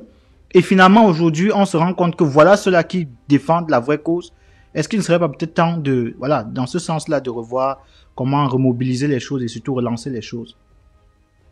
Tout à fait, tu as tout à fait raison parce que ceci étant dit, après qu'on ait vraiment euh, dénoncé tous les pourfendeurs du, du président Camto et du MRC, et ça c'est un devoir, contrairement à ceux qui pensent que nous devons nous taire, si on se taisait depuis l'époque de, de Christian Pendaïkoka et de, de, du pasteur Bonimenteur, je pense que notre président ne serait plus là. Ce que vous n'avez pas compris, c'est que si le président continue de rester debout, c'est parce que justement, il y a des gens qui prennent les armes et qui vont batailler pour lui et pour le parti. Si ce combat continue de rester debout, c'est parce qu'il y a des gens, des combattants qui se sont levés et qui ont décidé qu'on ne détruira pas le MRC, on ne détruira pas le président national. Donc, au passage.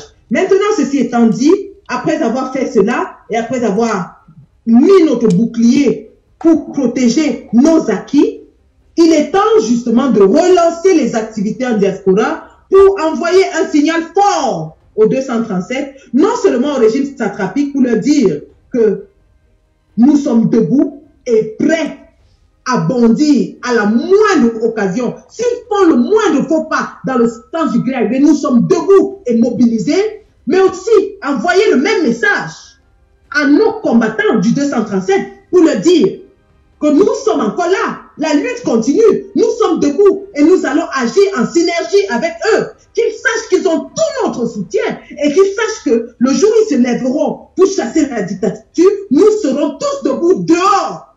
Je dis tous dehors. Et c'est ça qu'il est question. Il est question donc de reprendre nos activités et nous allons le faire de la plus belle des manières très bientôt. Euh, les, les, stratégies se discutent en inbox, mais toi et moi, on sait très bien de quoi on parle. Mmh. Merci. Super. Un seul instant, pendant que tu introduis les invités, voilà. je vais euh, jeter un coup d'œil sur les, les enfants. Ça marche, ça marche sans souci. Voilà, donc Merci. chers amis, vous avez suivi, c'était Sandy. Sandy que qu'on ne présente plus. Hein. Donc je rappelle ici déjà pour ceux qui viennent de, de, nous prendre en direct là que nous avons essayé de revenir sur la sortie du professeur Maurice Kamto, du président élu, le président élu de tous les Camerounais, hein, de la grande majorité, de la large majorité des Camerounais.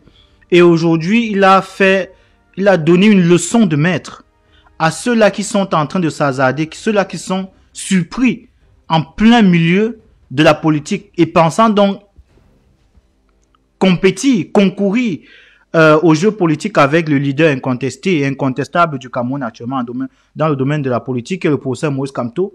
Il est donc évident, mon frère, il est évident, ma sœur, que le professeur Moïse Kamto aujourd'hui, c'est la figure de référence. Donc, nous avons essayé de revenir là-dessus, passant par bien de, sujets qui, en quelque sorte, émeut euh, la plateforme sociale, les médias, les réseaux sociaux, Facebook, WhatsApp et consorts.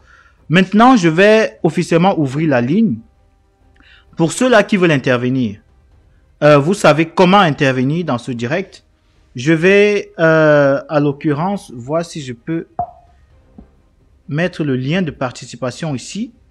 Nous allons faire simple. Tous ceux qui vont venir, il y a trois règles importantes. La toute première règle, c'est déjà d'être respectueux. Il va de soi. Euh, être respectueux veut dire quoi? Pas d'insultes. Pas de propos diffamatoires ou insultants. De peu importe les formes. Ils ne seront pas, ces propos ne seront pas tolérés d'aucune des manières. Donc, je vous mets ici en bas en description le lien d'intervention avec Sandy qui vient de nous rejoindre. On va progressivement attendre que les gens nous rejoignent dans le, dans la discussion. Et s'il y a des questions que vous avez à poser, alors soyez camerounais, assumez que vous êtes camerounais, prenez votre téléphone, composez le numéro qui est là au bas, qui va s'afficher au bas de l'écran ou intervenez via le lien que j'ai mis là et vous pourrez donc euh, donner votre contribution en direct dans cette discussion. Pour ceux qui n'ont jamais eu le temps, la possibilité de parler avec Sandy de Boston, alors c'est la chance qui vous est donnée, donc euh, n'y manquez pas. Donc on va attendre. Il y a Niad Barano qui nous a confirmé qu'il devait prendre, qu'il devait intervenir ce soir. J'espère que ce sera le cas. Il y a Kamala Panthère qui a confirmé qu'il interviendra ce soir. Nous attendons donc vos interventions. En attendant, je vais, remettre, voilà, ils sont en train d'entrer dans la discussion. Voilà, ils sont en train d'entrer. En attendant donc que euh, les invités rejoignent donc euh, le plateau, je vais remettre la vidéo en fond pour que vous suiviez et que voilà, chacun ait à comprendre exactement ce qui a été l'actualité du jour. Changement dans la paix et dans les urnes. Il ne l'a plus jamais dit. Il ne l'a plus jamais dit. Ça, c'était un discours avant les élections qui correspondait à une période déterminée. Ça, c'est le discours. Le discours politique évolue. Le discours politique n'est pas statique. Ce n'est pas quelque chose qu'on écrit sur un bout de papier, ça reste là comme ça. Non. Le discours politique évolue en fonction des circonstances politiques. Le discours là, des changements dans la paix, dans les urnes là, ça ne marche plus. Ça ne colle plus à la réalité. Ça ne colle plus à la réalité. Changement dans la paix, les urnes ne collent plus à la réalité. Jamais. Ça ne colle plus à la réalité. Tout le monde met des choses dans la bouche du président. Tout le monde. Chacun vient mettre n'importe quoi dans sa bouche. Le président a dit. Le président a dit. Le président a dit. Sauf qu'ils ne disent pas ce que le président n'a pas dit. Voilà. Ils ne disent pas ce que le président n'a pas dit. Le président n'a plus dit. Il n'a plus jamais dit changement dans la paix et dans les urnes. Ce que moi j'ai entendu le président dire, c'est que le jour que les Camerounais seront prêts, il sera à leur côté. C'est ce que le président dit maintenant. Ça, c'est le discours actuel du président Kanto. Donc, ces histoires-là, que nos camarades, partisans du statu quo et de l'immobilisme, ce discours-là qu'ils vont chercher dans les archives du président du MRCI en 2018, ce discours ne tient plus à la ce discours ne colle plus à la réalité. Ce discours-là ne colle plus à la réalité. Non, non. Le discours ne colle plus à la réalité. Que les gens arrêtent de lui mettre dans la bouche ce qu'il ne dit pas, ce qu'il ne dit plus. Alors, chers amis, je suis de retour. Alors, j'ai déjà dans le studio quelques personnes qui sont arrivées. C'est le cas de notre notre vaillant, hein, notre vaillant colonel So, qui nous a rejoint. Alors, colonel So, bienvenue dans la discussion. Je vois que ton microphone est coupé là. Il y a colonel So que je vois, il y a euh, Serge Chris qui est là. C'est bon là? Oui, là on t'entend 5 sur 5. On t'entend 5 sur 5. Donc, bienvenue déjà dans la discussion. Je ne sais pas si tu as suivi. Oui, merci bien. Tu as suivi la discussion? Oui, j'ai bien suivi. Voilà. J'ai bien suivi. Bon, en fait, euh, il y a quelque chose de profond que j'aimerais que les Camerounais commencent à mettre dans leur capacité analytique. Mm-hmm. Vous savez que il y, a, il y a certains qui ont revu le combat 7. Là où les mots commencent à changer, c'est lorsqu'ils disent que ils commencent avec le mot changement. Et le mot changement fait en sorte qu'ils sont ancrés en corrélation avec beaucoup des hommes d'en face qui, avec qui ils ont eu à dialoguer et dit que oui, on comprend que le Cameroun aujourd'hui, il faut un changement. Mais ces gens disent que bon, il faut aussi que bon, ne nous imposez pas Camto. Donc ils sont ancrés en, corrélation avec des personnes en les manipulant. On fait en sorte qu'ils se mettent une posture aujourd'hui qui disent qu'ils veulent le changement. Et comme c'est un mot que les Camerounais tous comprennent, et ils croient qu'ils sont dans le, même, dans le même combat, et pourtant, dans ce mot changement, c'est tout sauf Canton. Voilà la vérité qui est là. Et donc, on ne doit plus réfléchir pour savoir le pourquoi il y a tous ces gens de manipulation. Nous sommes seulement désolés de comprendre que c'est notre rôle. Car il faut à tout prix qu'on puisse déconstruire. Comme on l'a dit, nous sommes en guerre. Et que si on ne se mettait pas dans cette posture, hein, parce que vous, vous arrivez à comprendre que parfois, ils viennent sortir ces gens de mépris. Et lorsqu'il y a du répondant en face, ils viennent crier les premiers. Car ils veulent à tout prix que d'autres personnes se musulent. Parce qu'ils sortent le mot changement. Que les Camerounais comprennent aujourd'hui que ces gens ne sont pas dans la ligne du, combat politique. À cause du combat politique, ils ont eu une autorité aujourd'hui. Ils profitent pas de l'autorité parce qu'il y a beaucoup de moutons. Il y a beaucoup de moutons. Les voix, les les sauter à plus de 500 mètres hein, pour tomber et se détruire on veut aussi sauter avec eux. Cela va leur faire comprendre qu'ils ne sont pas des moutons. Soyons ensemble. Acceptons. On l'a dit, hein. Acceptons que c'est un défi de notre temps. Quelles qu'en soient les circonstances. Que même si demain il y a gré à gré. Que même si demain après les élections, bien continue. On aura toujours, on aura toujours, nous sommes plus dans cette voie où on va, on va combattre ce que, comme Sandy le disait tantôt, comme on le dit toujours, la masse critique qui va comprendre qu'ils sont aussi responsables de tout ce qui arrive lorsque hein, ne, lorsqu'ils ne se manifestent pas, lorsqu'ils refusent l'éveil. Donc, pour conclure, mon cher, ils sont, il faut que les gens comprennent d'une manière subtile. Ils sont dans une destruction du parti qui fait peur au, Cameroun, de l'opposant qui, euh, qui, qui se sacrifie hein, pour le peuple camerounais. Que ce soit clair, on ne joue pas avec ces gens-là. Merci Stevie. Mais, mais tu ne nous as pas dit, euh, déjà merci pour ton intervention, mais tu nous as pas dit en fait comment est-ce que tu as reçu la sortie du professeur, du président, euh, du président élu aujourd'hui? Mais le président élu aujourd'hui a démontré ce qu'on dit tous les jours que chacun doit se responsabiliser et que chacun doit comprendre que c'est une transmission et que cela doit se passer par la conscientisation. Donc, c'est pourquoi depuis, on appelle le peuple à cette mission-là. Dernièrement, on était dans un plateau où, lorsqu'on a parlé, quand lorsqu'on parle de la conscientisation, qui est l'éveil hein, politique du peuple, il y a des gens comme les, euh, euh, les qui est là-bas en Angleterre et les autres qui étaient là, ils disent que jusqu'à quand? Ce n'est pas de la faute des activistes, ce n'est pas la faute des hommes politiques si le pays a été zombifié pendant des années. Donc il nous appartient maintenant par rapport à cette de zombification d'avoir maintenant une pédagogie qui va permettre d'être prêt aujourd'hui. Aujourd'hui, aujourd'hui. Et ce qui est sûr, c'est que même c'est dans 50 ans, ce que les gars ne comprennent pas. Et c'est pourquoi moi j'ai fait toujours le parallèle, il faut toujours le rappeler entre homme d'État et aussi politicien. Le président élu n'est pas dans la posture des politiciens qui cherchent le pouvoir à tout prix, mais que c'est le peuple lui-même et puisqu'il a dit aujourd'hui, hein, il a dit que, que tous ceux-là qui sont en train de se préparer là, ben, il a appris y a beaucoup de, personnes qui vont venir se préparer, qui sachent que ça va se passer, hein, que par, par les unes et à travers le peuple camerounais et dans la paix. Donc, c'est aussi simple que ça. Il m'a beaucoup encouragé parce qu'ils ont bien compris. Il n'y avait plus. Jusqu'ici, on a, on a tellement expliqué ces choses que aujourd'hui, il est venu expliquer d'une manière tranquille et pour répondre aussi à ceux qui s'aventurent dans des notions euh, de pression, quand il faut bien le préciser. Oui, oui, parce que cela ne les aide pas. J'ai compris une question que tu as posée à Sandy tout à l'heure. Il est vrai. Je vous, le même Moi qui suis là, hein, nous étions au moins trois. Lorsqu'au début de cette révolution, je pense que c'est un passage très important. Lorsqu'on a commencé à critiquer le fonctionnement qui voulait imposer au peuple meurtri, avec, il y a ceux qui étaient sans papier qui venaient d'arriver, on les impose on les impose une somme à payer.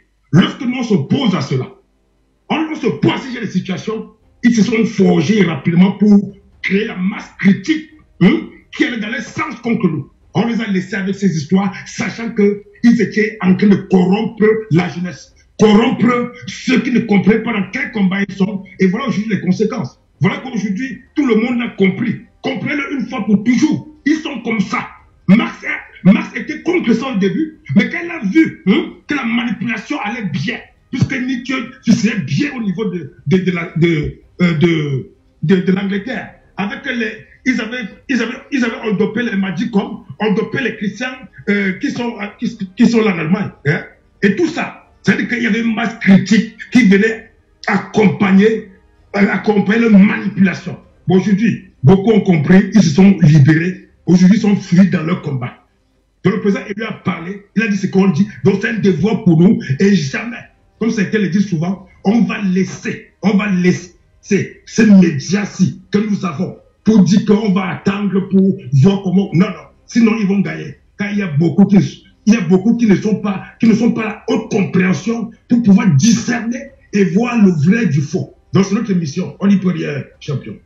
Super. Alors, il y a une dernière personne qui a rejoint la discussion, c'est Marcel. Marcel, bonsoir. Est-ce que Marcel nous écoute? Marcel, bonsoir. C'est pas compliqué, hein. Il y a trois boutons là, trois boutons supprimer. Marcel après, hein. Là, si ça ne passe pas, je redonne la parole donc à, à, Sandy.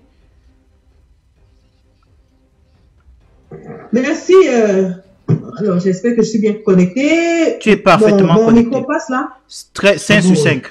Super. Euh, oui, le colonel So a dit quelque chose de, très essentiel. C'est que nous, nous sommes résolument engagés dans ce combat, euh, suivant la ligne idéologique de notre président élu, qui n'a pas changé, hein, ça il faut le dire, depuis 2018. Il n'a pas bougé de sa ligne idéologique.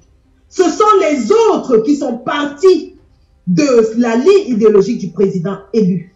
Euh, on a vu le cas de Jamen qui avait, qui était pressé d'avoir sa part, qui a créé effectivement sa part. On a vu les cas tels que euh, CPE, paix à son âme. Euh, on a vu évidemment le cas de Michel. Euh, donc, il y a eu autour du président élu plein de gens qui se sont, y, y compris même des militants de base, hein, des militants ordinaires qui ont pensé que le combat était long et qu'ils sont fatigués et qu'ils veulent autre chose. Chacun est libre de, sa pensée, de son opinion. Tout ce qu'on demande aux gens lorsqu'ils s'en vont, c'est de ne pas essayer de détruire ce qui existe et pour laquelle ils se sont battus auparavant. Aujourd'hui, les gens nous déclarent qu'ils ne sont plus pour Maurice Kamto. Comme Maurice Kamto n'est plus leur leader. Que si même auparavant, ils étaient pour le changement dans la paix, ils ne sont plus parce qu'ils n'y croient plus. Libre à eux, il n'y a pas de souci. Alors, s'ils le font, sans essayer de détruire notre leader idéologique et le combat qu'il mène, et que nous menons avec lui depuis trois ans, on n'a pas de problème. Jamais fait sa part. Est-ce que vous le voyez? Est-ce que nous, on on le gère plus? Il, gère son couloir. On le gère plus. Nous nous levons lorsque notre président et le parti, l'idéologie sont attaqués. Que ce soit clair pour tout le monde. Ben sinon, si ces gens ne sont pas attaqués, si le MRC n'est pas attaqué, si le président élu n'est pas attaqué, si l'idéologie n'est pas attaquée, on s'en fout, mais alors vraiment comme d'une guigne. Que quelqu'un prenne les Kalachnikov ou alors qu'il paye 100 000 francs pour ramasser le caillou, on s'en bat les, ce que vous savez. On s'en fout royalement. Nous, tout ce qu'on veut, c'est le résultat possible sur le terrain, c'est tout. Nous nous levons lorsque notre président est affaibli, lorsqu'il est attaqué, et on se demande donc, pourquoi est-ce que si on combat le régime d'IA, au même titre que le président Kamto, on est obligé d'attaquer le président Kamto pour présenter sa méthode? Pourquoi? Si on combat le régime d'IA, au même titre que le MRC, pourquoi est-ce qu'on veut détruire le MRC pour installer sa méthode? Ça, c'est autant de questions. On va revenir là-dessus parce que ça commence à faire un peu trop pour être fortuit, pour être euh, ignoré de Mhm. toute façon. Tout à fait. Et donc, ce qui se passe aujourd'hui dans notre combat, c'est ce qu'on appelle une phase de clarification. Les choses se clarifient, comme le colonel So a dit. Si au début, il y avait des choses que les gens ne comprenaient pas, parce que eux, ils étaient là au début avec les Salomon, Tchapchet et tout ça, ils ont vu les gens arriver dans le combat. Ils ont vu les gens évoluer dans le combat. Si eux, avec le recul et et l'ancienneté, la maturité, ont vu certaines choses, que nous autres qui sommes entrés avec la fougue, avec la- la- l'engouement, on n'a pas pu discerner, et qu'aujourd'hui on commence à discerner, tant mieux. Donc, euh, c'est une phase de clarification et une phase de, discernement qui est nécessaire et qui arrive dans toutes les luttes. Ce n'est pas particulier à la lutte camerounaise. Même dans le combat des ambazoniens, il y a eu beaucoup de clarification, il y a eu beaucoup de séparation. Donc, euh, nous sommes à cette phase-là où certains s'affirment d'une autre façon, d'autres s'affirment d'une certaine façon. Euh, L'essentiel, en ce qui me concerne, c'est de continuer le combat dans lequel nous nous sommes engagés, mais que chacun sache que, en ce qui me concerne en tout cas, bien sûr en ce qui concerne beaucoup d'autres combattants, le président Kamto, nous le protégeons à tout prix parce que ça nous a pris depuis 1992 pour trouver un autre leader qui pouvait faire face à M. Biya. Ça nous a pris depuis 1992. Le professeur Baebek vous a dit que des hommes comme Kamto, il faut au moins trois générations pour en trouver. Pas comme un certain euh, euh, monsieur nous avait dit qu'il y a des combattants qu'il faut prendre 40 ans. Ils nous disent qu'il ne faut pas béatifier, déifier le président Kamto. Mais ils le font quand même avec d'autres combattants qui n'ont rien d'extraordinaire par rapport aux autres. Ils nous disent qu'il faut 40 ans pour fabriquer un combattant, mais ils ne veulent pas qu'on dise qu'il faut trois décennies pour avoir un président comme Kamto. Alors que la, preuve est là, depuis 1992, on n'a pas eu un autre homme politique qui a challengé le régime en place comme Kamto le fait. Donc, pour revenir à ce qu'on disait, Kamto, vous l'attaquez, vous le trouvez. Un point, un trait. C'est ça qui est la vérité. En tout cas, en ce qui me concerne, tout celui qui dirigera son âme contre Kamto me trouvera sur son chemin. Et quand il me trouve, c'est pas pour la rigolade. Je le broie. Ça, c'est certain. Je broie mes adversaires. Alors, euh, la Panthère, tu viens de nous rejoindre dans la discussion. Tu as entendu parler Sandy. Sandy a averti, elle a parlé du trucage de fémur. Toute personne qui voudra s'aventurer à attaquer le professeur Kamto trouvera donc le fémur. Il aura son fémur tchouqué. Alors, la Panthère, déjà bonsoir. Ah, ton, ton, ton microphone, il est encore fermé, la Panthère. Je ne sais pas si... On t'entend très bien. Je ne sais pas si vous vous êtes concerté avant de venir dans ce direct, mais je vois des proximités vestimentaires là qui... Voilà, je vais pas attirer l'attention de ce côté. Non, mais Stevie... En tout cas, bienvenue. Oui, on t'entend très bien. C'est la réunion du village. Stevie, tu vois, Sandy, Sandy vient justement de m'arracher les mots de la bouche. C'est ce qu'on appelle transmission des pensées. C'est la réunion du village. Sauf que contrairement à d'autres personnes, on ne le met pas pour jouer au MK Amour et demander un litige derrière. Donc c'est tout à fait naturel. Donc je n'ai plus besoin de le dire, je suis un prince bangoula. Donc je suis fier et content de mettre les attributs de ma région. J'en suis fier d'ailleurs. Et pour rentrer dans le vif du sujet, je vais déjà apprécier la brillante intervention du Sandy de Boston qui a vraiment élaboré, qui a fait une ébauche de notre combat et de la nouvelle dynamique que nous voudrions désormais donner à notre lutte c'est assez clair aujourd'hui qu'il y a deux courants d'idées différentes. Pas convergentes, mais différentes. Ceux qui sont effectivement pour le changement dans la paix par les unes et ceux qui sont pour une autre révolution insurrectionnelle avec un leader sacrificiel qu'on attend toujours et qu'on n'a pas vu. J'aimerais juste compléter le propos d'Isandy parce qu'elle a tout dit. J'aimerais quand même attirer l'attention de beaucoup de personnes de la manipulation de certains anciens et là, aujourd'hui, je vais citer normalement les noms, comme Brice Nietzsche aujourd'hui, qui effectivement, ça fait deux ans, il n'a pas fait de live, mais qui revient en force en trois live en moins d'une semaine.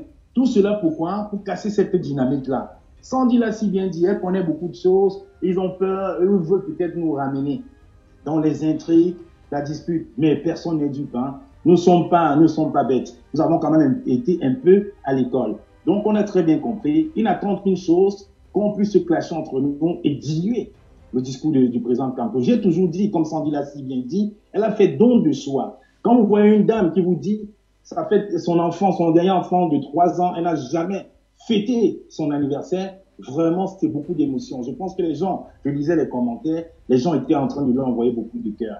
Donc, je pense quand même qu'on ne peut pas sacrifier, sacrifier son combat par clanisme, par amitié, sacrifier trois ans de lutte incessante qui fait trois ans de voyage, mais par affinité et par charisme, se ranger derrière un seul individu, en réalité qui ne représente rien. C'est pour ça aujourd'hui, beaucoup ne le comprennent pas, le travail de renfort, parce que Marc Seigneur Ivo est sorti, il a vu que ça n'a pas pris, et alors on envoie qui? Le parrain, Al Capone, Brice Nietzsche, pour venir essayer de déconstruire. Et vous voyez très bien, parce que les gens ne comprennent pas, ne lisent pas à travers les lignes il vient avec le même discours que, Tim, euh, que Bomo Timban, déconstruire le MRC. Dit le, le président Camto ne peut plus aller aux élections, que c'est une chimère de parler des urnes. Donc on a l'impression derrière que c'est la même procédure, la même technique. J'avais l'impression même d'entendre le Bomo menteur, le pasteur Bomo Tiban, qui nous faisait que nous fait des propositions du grand MRC qu'on n'a jamais vu. Et comme je dis, ce monsieur est tellement fin il dit des choses à travers les mots qu'il faut lire entre les lignes. Et nous, on a étudié tous ces lives. De toute façon, à 23h aux unes, va revenir sur Nietzsche 2 et vous allez comprendre la manipulation. Parce qu'il est en train, par exemple, de faire allégeance au régime de M. Bien en voulant affaiblir nous, les pro-Camto, en pensant que nous sommes dans sur la mauvaise voie. Et une chose que je défends, que je combats encore, hier, il a fait une maladresse, peut-être calculée ou pas, il est rentré dans le tribalisme. Rentrer dans le tribalisme en nous faisant croire que les originaires d'une idée doivent aller combattre dans l'ondé, les originaires du centre doivent aller combattre dans le centre. Ça veut dire encore, ils donnent raison à tous ces sardinats-là qui disent que le président Campos est le président des Bamileke. Donc, on doit se cantonner à une région pour quelqu'un qui s'est sacrifié pendant neuf mois, qui a élaboré un projet sociétal depuis 2012. Alors, stop la manipulation. Donc, vraiment, il faut qu'on soit lucide, qu'on puisse lire entre les lignes et comprendre aujourd'hui que nous avons fait un bloc autour du président Maurice Kamto. Nous sommes des pro-Kamto, forts et durs.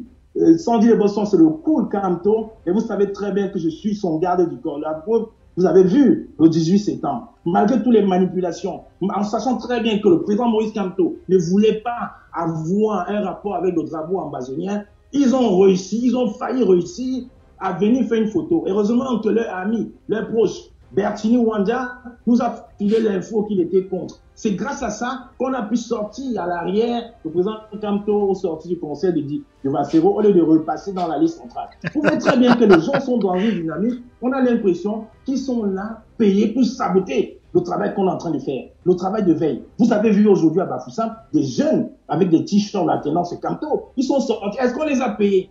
Aujourd'hui, ils font un rétro-pédalage technique en faisant croire que non, ils n'avaient pas parlé d'âme. Il n'avait pas parlé de, d'armes. Il y a même un petit Zozo qui a même cité le général de Gaulle en oubliant que le général de Gaulle, en, citant, le général de Gaulle était un officier français et il appelait les troupes armées, les ingénieurs, les architectes, tous ceux qui avaient une référence avec l'armement. Parce qu'on ne dit pas à un boulanger d'aller prendre une arme sans jamais savoir s'en servir. Parce qu'en réalité, l'arme elle-même n'est pas dangereuse. C'est l'utilisateur. C'est l'arme qui est dangereuse.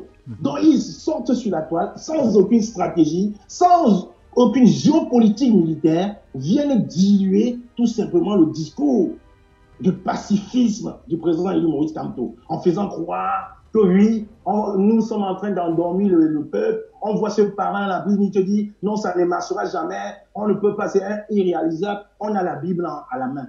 Le président Kamto a posé aujourd'hui une question vraiment cruciale. Il a dit, est-ce que vous accepterez encore que ce qui se passe, que ce qui s'est passé puisse arriver? Ils ont dit non. Pourquoi est-ce qu'aujourd'hui, le régime de M. Biya a peur seulement d'accepter une simple autorisation de marche du MRC Parce qu'ils savent très bien qu'une marche du MRC serait un match de football pour tout le monde. Et qu'est-ce qu'ils font? Ils, refusent. Mais par contre, quand les élections vont être lancées, même s'ils refusent, les gens vont se lever naturellement, sans être payés. Les gens vont se lever, les gens sont prêts. Les gens sont prêts à se lever parce que ce qui s'est passé ne va plus jamais se reproduire. Et rien n'est fini quand ce n'est pas fini. Et ça va se faire. comme, on l'a Le président oui. C'est ça la réalité. Je, ne te coupe pas, je te relance.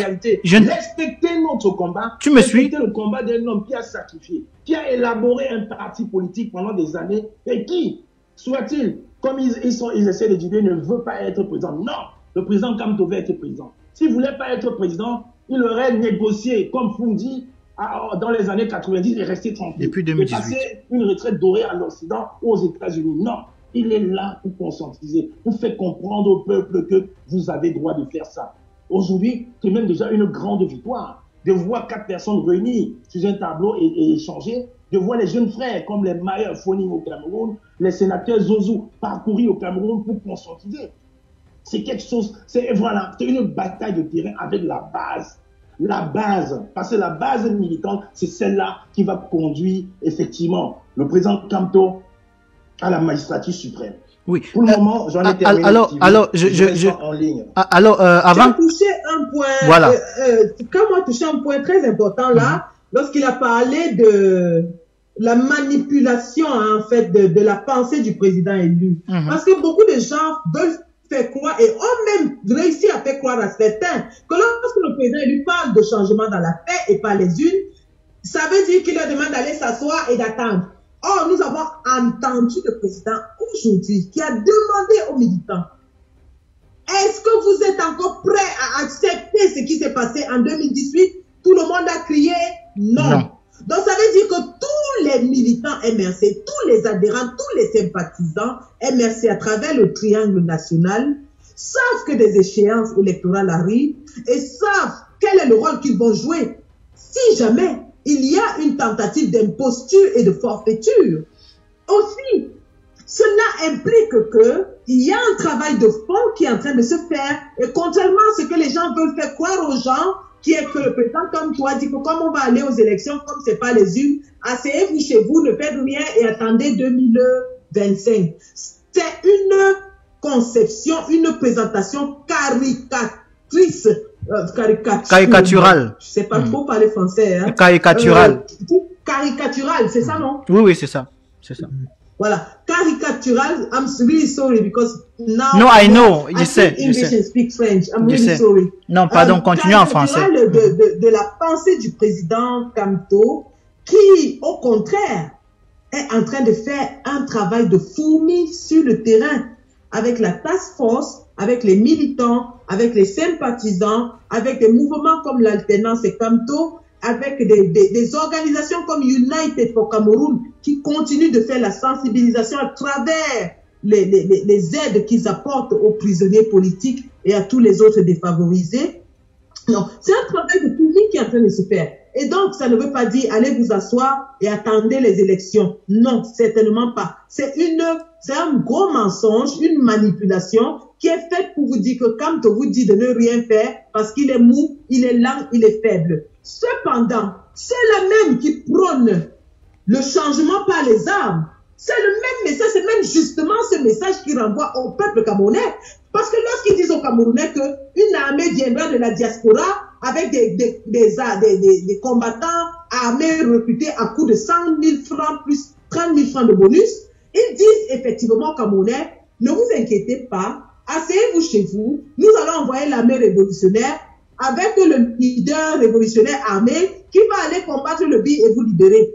Or, nous savons tous que c'est complètement faux, que c'est un mensonge, c'est une fabulation, ça relève complètement du fantasmagorie que de dire aux Camerounais qu'ils vont envoyer les troupes armées sur le terrain avec 100 euh, 000 francs chacun pour libérer le Cameroun. Au contraire, ce sont eux qui sont en train de d'infantiliser d'immobiliser le peuple en leur faisant croire qu'ils n'ont rien à faire, il y aura une armée qui va venir les libérer.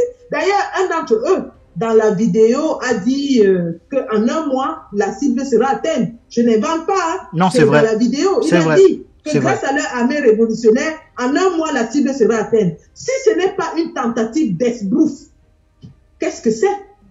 Pendant que nous conscientisons le peuple, nous travaillons à son éveil, à son réveil, à sa participation au jeu politique camerounais, à son éducation citoyenne, des gens sortent de nulle part et disent que non, le peuple là doit s'asseoir, que la conscientisation est trop lente. C'est mou, c'est rien. c'est eux, ils vont amener les troupes sur le terrain avec les armes et un leader révolutionnaire caché qui va atterrir à la poste centrale comme Rambo avec son AK-44, 47 à l'épaule en train de tirer sur le bille. Mais arrêtez de raconter n'importe quoi, arrêter de faire rêver le peuple camerounais. Le peuple n'est pas si dupe que ça.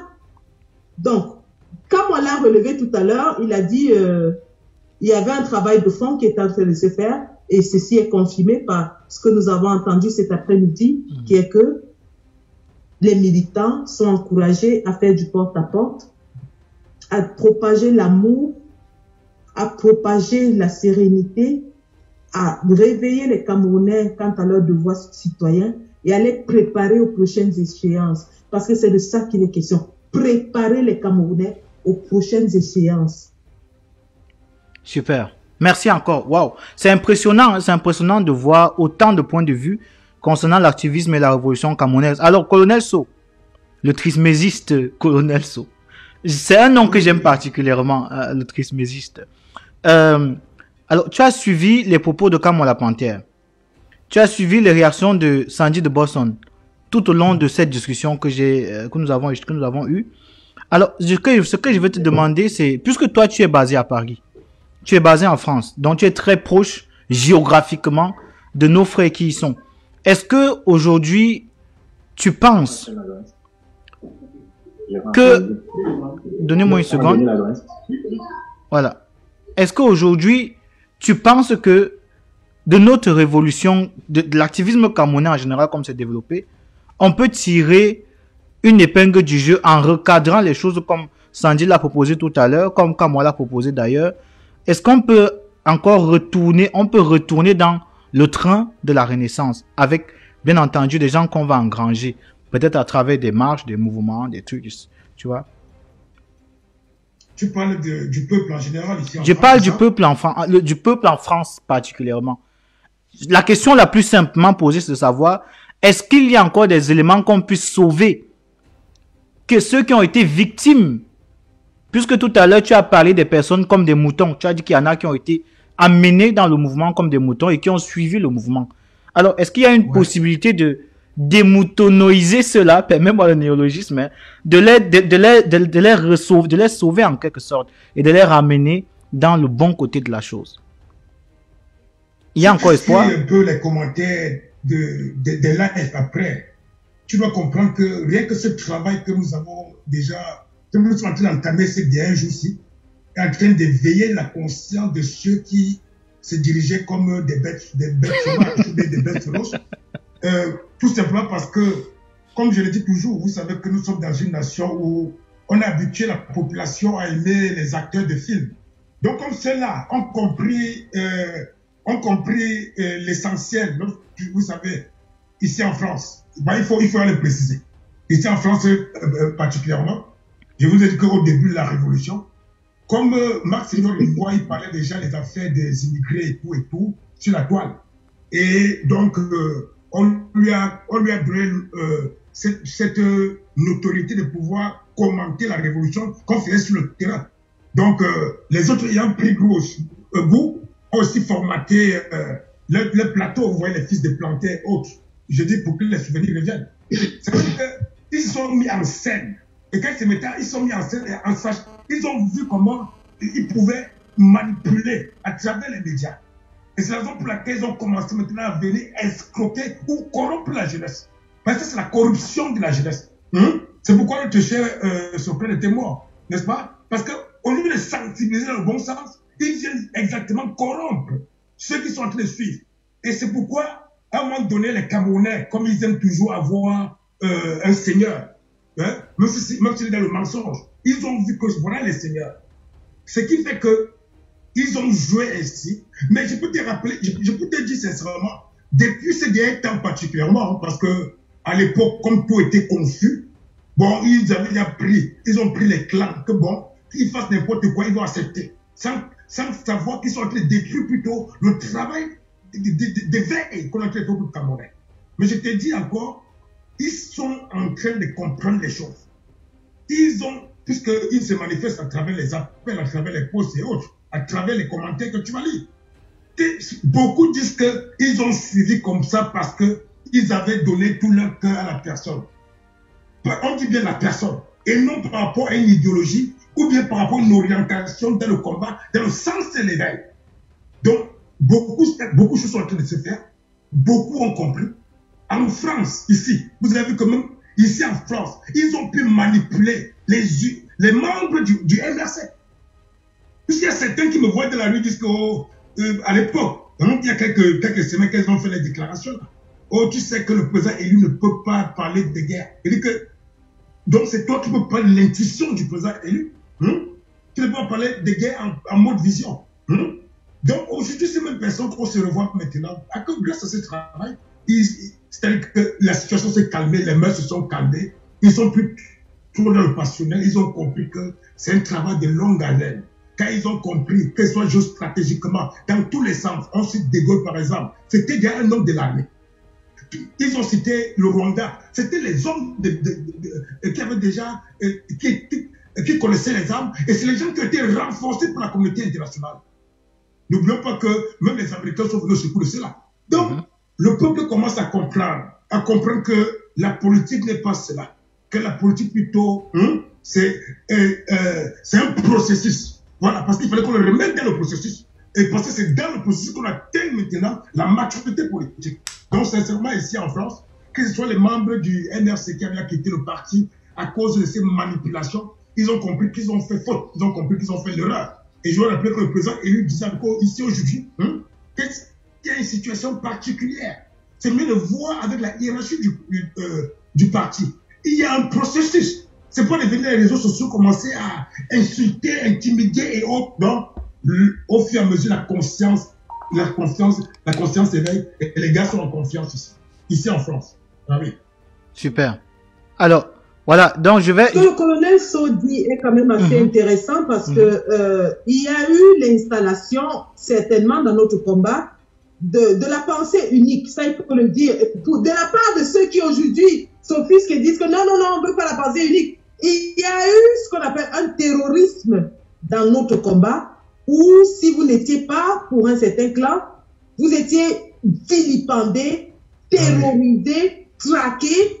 Et ce qui m'a valu toutes les foudres hein, de, de, de, de, ces gens, c'est lorsque je me suis enfin levée, lorsqu'ils ont poussé le bouchon assez loin pour s'en prendre aux familles des combattants. Vous vous rappelez, notamment lorsque on exposait les enfants de Justine Boukam, on exposait les sœurs de Kamoa la Panthère, ainsi de suite, des boys très intimes de famille, où des sœurs se plaignent de leurs frères, ainsi de suite, qui se retrouvent dans notre combat. Alors là, j'ai dit non, ce combat, c'est un combat d'idées et non de personnes. Rien ne vous donne l'autorisation, ni même la permission, la légitimité d'aller fouiller dans la famille de Kamoa la Panthère pour venir mettre dans les réseaux sociaux. À cela, on m'a opposé, on m'a dit, si c'est le cas, moi, tout est permis. On peut tout faire contre lui. Et j'ai dit non, j'ai maintenu. J'ai dit non, c'est moi. Vous le faites à moi parce que moi, c'est pas mon combat. Je suis pas entré dans ce combat pour détruire les familles des gens. Je suis pas entré dans ce combat pour aller fouiller les voix des frères contre les sœurs, contre des femmes contre leur mari ou des, des, des, enfants contre leur maman. Je suis mère d'enfants. Je n'aimerais pas qu'un jour on prenne des choses de mes enfants et qu'on mette dans le, les réseaux sociaux, soit, disant parce que je suis, en désaccord avec des gens dans le combat. Donc, ces gens allaient, sont, allaient un peu trop loin et personne n'osait justement s'indigner, personne n'osait parce que tout le monde était sous le coup de la terreur. Tout le monde était terrorisé. Il suffisait que tu lèves un, une petite voix contre eux pour qu'ils t'atomisent, ils te terrorisent, ils te traquent, ils te font ce qu'on appelle en anglais du trolling. Qu'on te troll, on te suit partout, on te matraque, on t'insulte. Et malheureusement pour eux, je suis de ceux-là qui ont la peau dure, la peau de l'éléphant. Je suis le macanjo, je suis le mangofi. Ça glisse sur moi comme le cuir. Une fois que j'ai dit, donnez même mine, je ne vous, je vous gère. Je vous gère, oh, Donc, le colonel soit tout à fait raison. Dans ce combat, il y a eu l'installation de la terreur, la dictature par la terreur installée dans le combat, euh, euh, euh, encouragée et même perpétrée par des faux profils que certains ont fabriqués justement pour, aller faire la sale besogne pour eux. Et par derrière, ils viennent se présenter comme des anges qui, ne disent jamais rien de mauvais, qui n'attaquent jamais rien, qui, qui sont tout, tout bons et tout. Euh, et cette image a trompé beaucoup de gens dès le début. Moi y compris, hein, cette image. Et moi-même, j'admets que j'ai été instrumentalisé à plusieurs moments dans ce combat pour attaquer justement ceux-là qui osaient euh, euh dire quelque chose de contraire à ce plan. Et, et j'assume, et j'ai d'ailleurs j'ai fait mon mea culpa envers beaucoup. Et c'est cela qui me vaut l'honneur aujourd'hui de parler la tête haute, parce que un homme juste, c'est aussi un homme qui sait reconnaître ses erreurs. Donc, il y a eu l'installation de cette pensée unique que nous combattons dans le régime BIA. On nous installe la pensée unique dans le combat, mais on veut nous faire croire qu'on combat la pensée unique du régime de BIA. On nous installe les détournements des fonds publics, des deniers publics dans le combat, et on veut nous faire croire qu'on combat le vol de l'argent de la canne. Vous ne pouvez pas voler l'argent du peuple et dire que vous combattez Franck Bia ou Chantal Bia qui volent l'argent du peuple camerounais, soyons cohérents dans la méthode et dans la façon de faire. Oh, la, crédibilité, c'est aussi l'intégrité morale euh, euh, en ce qui concerne la chose publique. Je veux dire, dans le combat, nous avons installé nos petites méthodes de fonctionnement. Alors, si nous avons décidé de fonctionner par les petites collectes d'argent, l'argent ne vient pas de nos poches, il vient du peuple. Nous avons le devoir de rendre compte à ce peuple chaque fois que nous lui faisons appel. Et des gens qui se sont installés et qui ont fait deux ans en collectant sans jamais rendre compte et en disant même, en vous narguant, en disant, vous allez cotiser Roha et on ne vous rend pas compte, vous allez faire quoi? Celui qui ne cotise pas n'a qu'à passer. Lorsqu'on n'a pas la notion de gestion publique. On ne peut pas critiquer celui qui vole l'argent du peuple. Lorsqu'on n'a pas la notion du devoir envers le peuple, on ne peut pas critiquer Bia et son régime qui ne rendent pas de compte au peuple. Et lorsqu'on essaye de parler de cela, les gens veulent mélanger avec des histoires personnelles, avec des histoires de ceci, des histoires de coucherie, des histoires de... Rappelons, entre autres, que nous sommes des adultes, nous sommes dans un combat qui nous a rassemblés. Il y a des couples qui se sont formés dans ce combat. Exemple, Rosange et, Dali, qui ont déjà un, joli petit bébé. Il y a des, familles qui se sont formées dans ce combat. Nous sommes des êtres humains. C'est comme chez moi à l'hôpital, vous avez des, infirmières ou des médecins qui, tombent amoureux des collègues ou bien des malades et puis au, fil du temps, ils forment un couple. C'est la nature de l'être humain. Et c'est tout à fait normal. Ce qui n'est pas normal, par contre, c'est de prendre la chose publique, de la confisquer et de ne pas rendre compte. C'est de tromper le peuple qu'on cotise pour X alors qu'on est en train de cotiser pour Y et qu'on se, on se l'empare. Mm. Donc, si M. Bia fait l'enfant avec euh, la femme de Bobo Joya, c'est son problème, c'est sa vie privée, on s'en fout. Mais si M. Bia prend l'argent du peuple pour aller se coucher à l'hôtel intercontinental, il a des comptes à nous rendre. Il a des comptes à nous rendre, je suis désolée. Tout à fait. Donc, le colonel soit mis un doigt sur euh, un point très, très euh, saillant dans ce, dans ce combat l'apparition de, des profils, je, je, dirais, il y a des profils qui travaillent pour l'avancement du combat. Il y a des combattants qui ont choisi de rester dans l'anonymat et qui contribuent de façon très, très positive à l'avancement du combat. Mais il y a un groupe qui a été créé justement pour attaquer, détruire, nuire au combat, nuire aux autres combattants, qui ne sont plus là pour combattre le régime de Biya, mais pour détruire le combattant. Et ils le disent sans vergogne. Ils le disent que leur rôle maintenant, c'est de descendre X, Y ou Z combattants. Alors, à ces gens, je dirais, euh, c'est peine perdue parce que dans ce combat, c'est chacun qui est entré avec ses convictions, s'il en avait.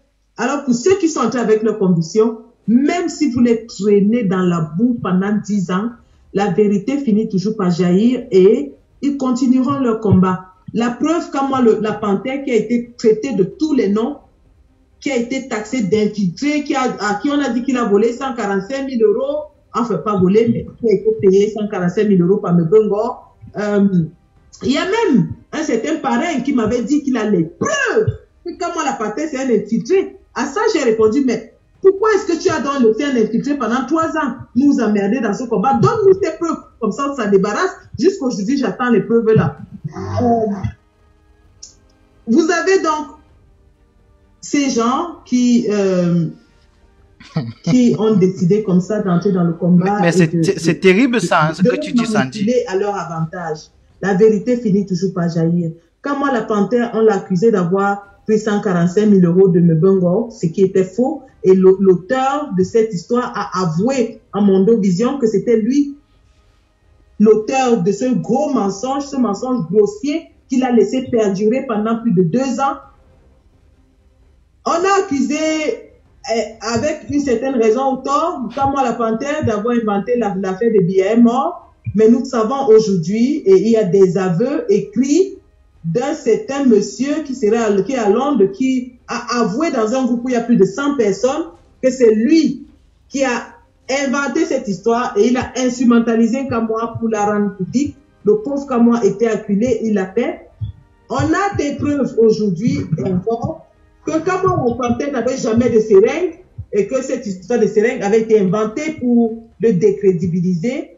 Mais plusieurs années plus, tard, deux ans plus tard, la vérité finit par triompher. Donc, ces gens qui, qui, pensent que créer des mensonges sur les combattants, créer des choses sur les gens dans le but de les décrédibiliser, de les rendre euh, inaudibles, comme on le fait aujourd'hui certainement pour moi, euh, les avancera à quelque chose.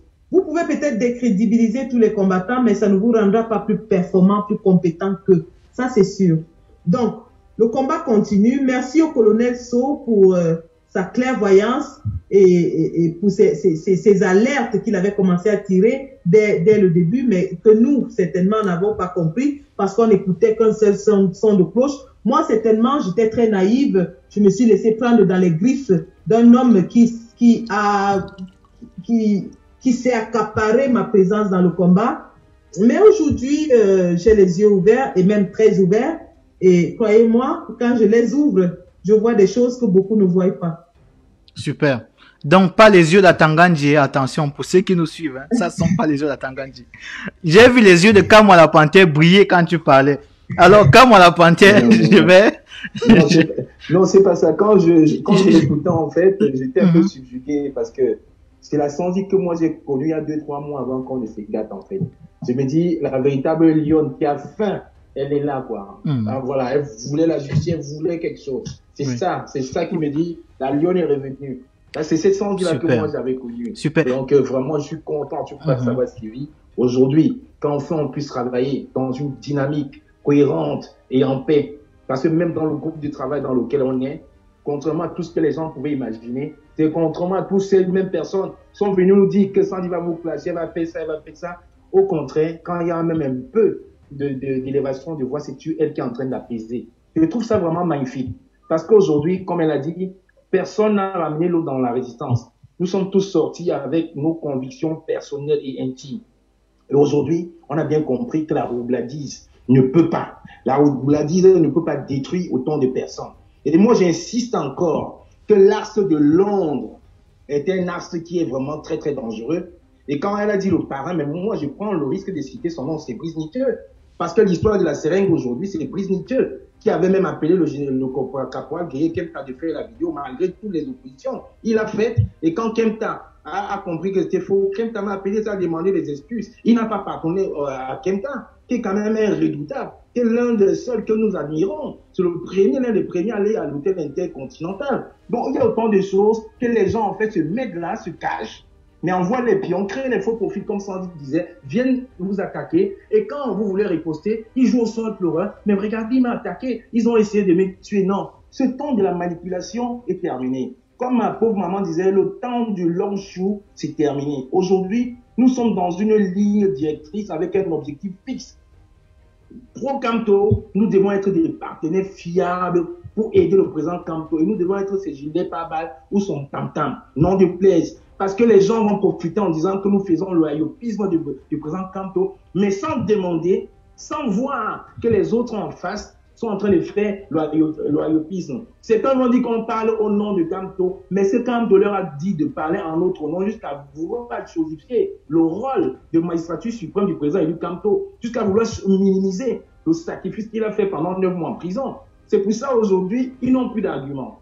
Et l'argument, c'est tombé dans l'invectif et certainement aller sur le corollaire du tribalisme. Comme quelqu'un a dit hier dans son live, qu'il faut que les Barantes euh, restent à Barante, les Bouddha, Bouddha et tout. Vraiment une bêtise congénitale qui n'a pas de nom. Donc ces gens-là, en fait, ils n'ont plus d'arguments. Qu'est-ce qui veut faire C'est diluer le discours? Le travail de sensibilisation va continuer à être mené de main de maître. Le colonel est là présent. Il, qu'est-ce qu'il n'a pas suivi à un certain moment? Parce qu'il dénonçait. Il dénonçait. Leur tactique, c'était ça, bloquer nos pages et ne pas partager les lives pour qu'on soit inaudible. Aujourd'hui, on peut se mettre à 5 ou 6, on fait un live comme celui-là, on partage et on a un partenaire sur YouTube qui répond tous nos lives, qui les découpe, qui renvoie à tout le monde au Cameroun. Aujourd'hui, les gens sont plus bêtes. Hmm? Quand vous voyez qu'il y a des gens qui sont vraiment venus ici dans cette diaspora pour nous détruire, heureusement, je dis heureusement, que la résistance Alberta, qui a eu aussi une grande responsabilité dans ça, a eu la sagesse de couper les ponts d'évirement. Parce que certains sont restés à la maison, ils avaient les virements de la résistance à la Delta. Patrice Ngassa a été boudé parce qu'il a fait une photo avec moi à Bruxelles. Heureusement, aujourd'hui, ils sont inquiets parce qu'il n'y a, plus, plus de virement. Et qu'est-ce qu'ils font aujourd'hui? Ils attaquent aussi Patrice Ngassa. Ils attaquent en mettant le frère du village là derrière. Donc, restons cohérents, restons vraiment sereins. Nous sommes sur la bonne voie et le président Maurice Kamto a donné une réponse à M. Briznitio aujourd'hui. Briznitio n'est pas le conseiller politique de M. Euh, Kamto. S'il en avait besoin, il a assez de monde, il a assez de matières grises au directoire du MSC pour l'aider. Donc, M. Brice ne vient pas nous enfumer en disant que le président Camto ne parle pas d'élection, en disant que le, président Camto n'a plus de poids électoral et que les élections, c'est illusoire. Nous ne sommes pas dans Jupiter, nous sommes dans la réalité. Aujourd'hui encore, à une fois de plus, le peuple, le peuple de la résistance, du changement, de la renaissance, a démontré à suffisance que les choses qui sont passées avant ne vous pourront plus jamais se passer. Et ça va être mon mot final ce soir, Sylvie, en sachant très bien que nous avons un programme bien défini. Tout à fait. À 23h30. Non, on, y va. 23h. 23h. À 23h, heure de Paris, il y aura l'acte 2 de Brise Nietzsche. Je vous invite très tous à vous connecter à 23h. Rosino Mebako, argument contre argument, avec des preuves, va vous montrer la roubladise de Brise Nietzsche encore une fois de plus qui est là, qui se cache, qui tire les rôles, qui tire les ficelles dans l'ombre pour essayer de nous mettre à la tête de la résistance un individu, un individu qui nous a dit, si vous devez même adhérer dans un parti, ça devait être de l'UPC. Je dis non, ah, il faut qu'on arrête. Nous avons choisi notre leader générationnel qui est Maurice Camteau. Nous devons vraiment jouer un bouclier autour de lui. Merci Stevie Sam pour ton travail d'édification. J'ai encore les retours très très positifs déjà à ton live d'hier du côté du Canada, beaucoup apprécié ton live est très, très apprécié. J'ai au moins 20 messages. Oui, je profite pour te le dire ici. Mm. Merci au colonel So. Et je ne dirai jamais merci à Sandy de Boston, qui enfin revient en force et qu'elle peut. Non, mais dis-lui merci. Comment tu lui dis pas Nous serons son bouclier et mm. personne, plus personne ne tombera dans la manipulation d'un clan qui est là, qui crée des faux profits et des groupes uniquement pour détruire les combattants. On va faire bloc contre toutes ces personnes-là parce que la renaissance est déjà en marche. On ne peut plus s'arrêter si les gens sont fatigués, vous descendez, mais vous nous laissez continuer. Parce qu'il n'y a pas que le MRC Maurice Kamto Cameroun. Si vous avez d'autres voix, allez voir d'autres leaders. J'en ai terminé. Bonne soirée à tous et rendez-vous à 23h30. À tout à l'heure, comme on sur la page de l'alternance Camto, la déconstruction de Brice Nietzsche, acte 2. Super, à tout à l'heure. Voilà. Merci. Euh, je, donne, je te donne donc une minute, euh, colonel So, et Sandy de Boston va conclure euh, le direct de ce soir. Il faut respecter les autres. Allô? Oui, on t'écoute 5 sur 5, colonel. Alors, qu'est-ce que tu peux dire pour, pour sortir de cette discussion? euh, Au fait, euh, nous devons tout simplement implorer à chacun de comprendre que la façon dont ils vont déterminer euh, prochainement les choses, c'est de juste voir comment certains se comportent. Parce que ceux-là jouent vraiment la biangongo, ils jouent à la bien, parce qu'ils utilisent les moyens du régime pour manipuler le peuple. C'est que le peuple a compris aujourd'hui que le régime était un régime manipulateur. Mais ils, n'arrivent pas à comprendre que, comme ils ont compris une paix, comme ils ont compris un diamètre, ils n'arrivent pas à comprendre que c'est dans le même processus mais comme ils sont, je le dis encore avec le mot changement, beaucoup ont cru que c'est toujours la même bataille. Le président élu va arriver le, euh, euh, euh, c'était en 2020, lorsqu'il arrive aussi en février 2020. Le 31 février 2020. Le 31 janvier 2020 et le 1er février 2020. Oui, lorsqu'il est arrivé ici, le, le jour qu'il est venu pour son discours, silence total. Personne n'en parle. Nous sommes en train de tapage. Ils sont là dans le musulman. Parce qu'il faut voir la chose. Mais pourquoi on n'explique pas pour que certains pensent que non, on ne peut pas déconstruire manipulation et venir encore manipuler. Mais le, jour dit maintenant, ce sont eux qui arrivent et qui vont provoquer les bagarres pour être au premier loge. Vous vous souvenez ce jour Jusqu'à ce que Big Mami a, balancé. Non, non, ça c'était euh, le 18 mai. Mais jusqu'à là, Big Mami était là. C'était le 1er février. Même Sandy était monté au, podium. Même, le, en février, là, Big Mami était là avec les vieux. Si le gars était là, même pour son entourage. Parce qu'il y a des choses que, puisqu'elle aussi, elle a vécu avec eux. Elle aussi, elle connaît qui ils sont. Donc la rage qu'elle a aujourd'hui contre ces personnes-là, c'est par rapport à leur fonctionnement initial. Mais elle n'a jamais accepté d'être dans un déséquilibre, total, car à un moment donné, elle a mis son discernement pour trancher. Donc, ces gars, voilà que demain, le président élu devait encore venir ici pour en juillet. C'était en juillet, non? Le 3 juillet. Le 3 juillet, ça. Oui, tout à fait. Silence total. Hein? Mais à la dernière minute, tout ce que les Camerounais retiennent, c'est l'image. C'est là où je dis qu'il y a beaucoup qui sont, bon, j'espère qu'ils sont en train de, de, réactionner leurs neurones. Au-delà du silence pour le 3 juillet, je pense qu'ils sont allés un peu plus loin parce que les lives sont là. Il y en a un qui a fait une sortie où il a demandé que Kamto c'est qui? Voilà. Ça, c'est à la place de la République. Kamto c'est qui? Il y en a une autre qui a fait les lives pour dire que au lieu que Kamto vienne en diaspora marcher, qu'il aille d'abord libérer tous les gens qui sont en prison pour lui au Cameroun. ils ont fait des lives pour décrier l'arrivée de Kamto pour la marche 3G. Et d'ailleurs, ils étaient accompagnés dans cela avec euh, un certain Jean Crépin Niamsi, qui était même allé jusqu'à dire que lui va agresser physiquement Kamto. Voilà. Il avait dit. Voilà. Donc, donc euh, vu toutes ces démonstrations-là, je vous dis encore, peuple camerounais, vous qui, vous qui avez ce désir profond hein, de transformation hein, au niveau national comme international, parce que la diaspora, y compris, nous sommes tous des Camerounais.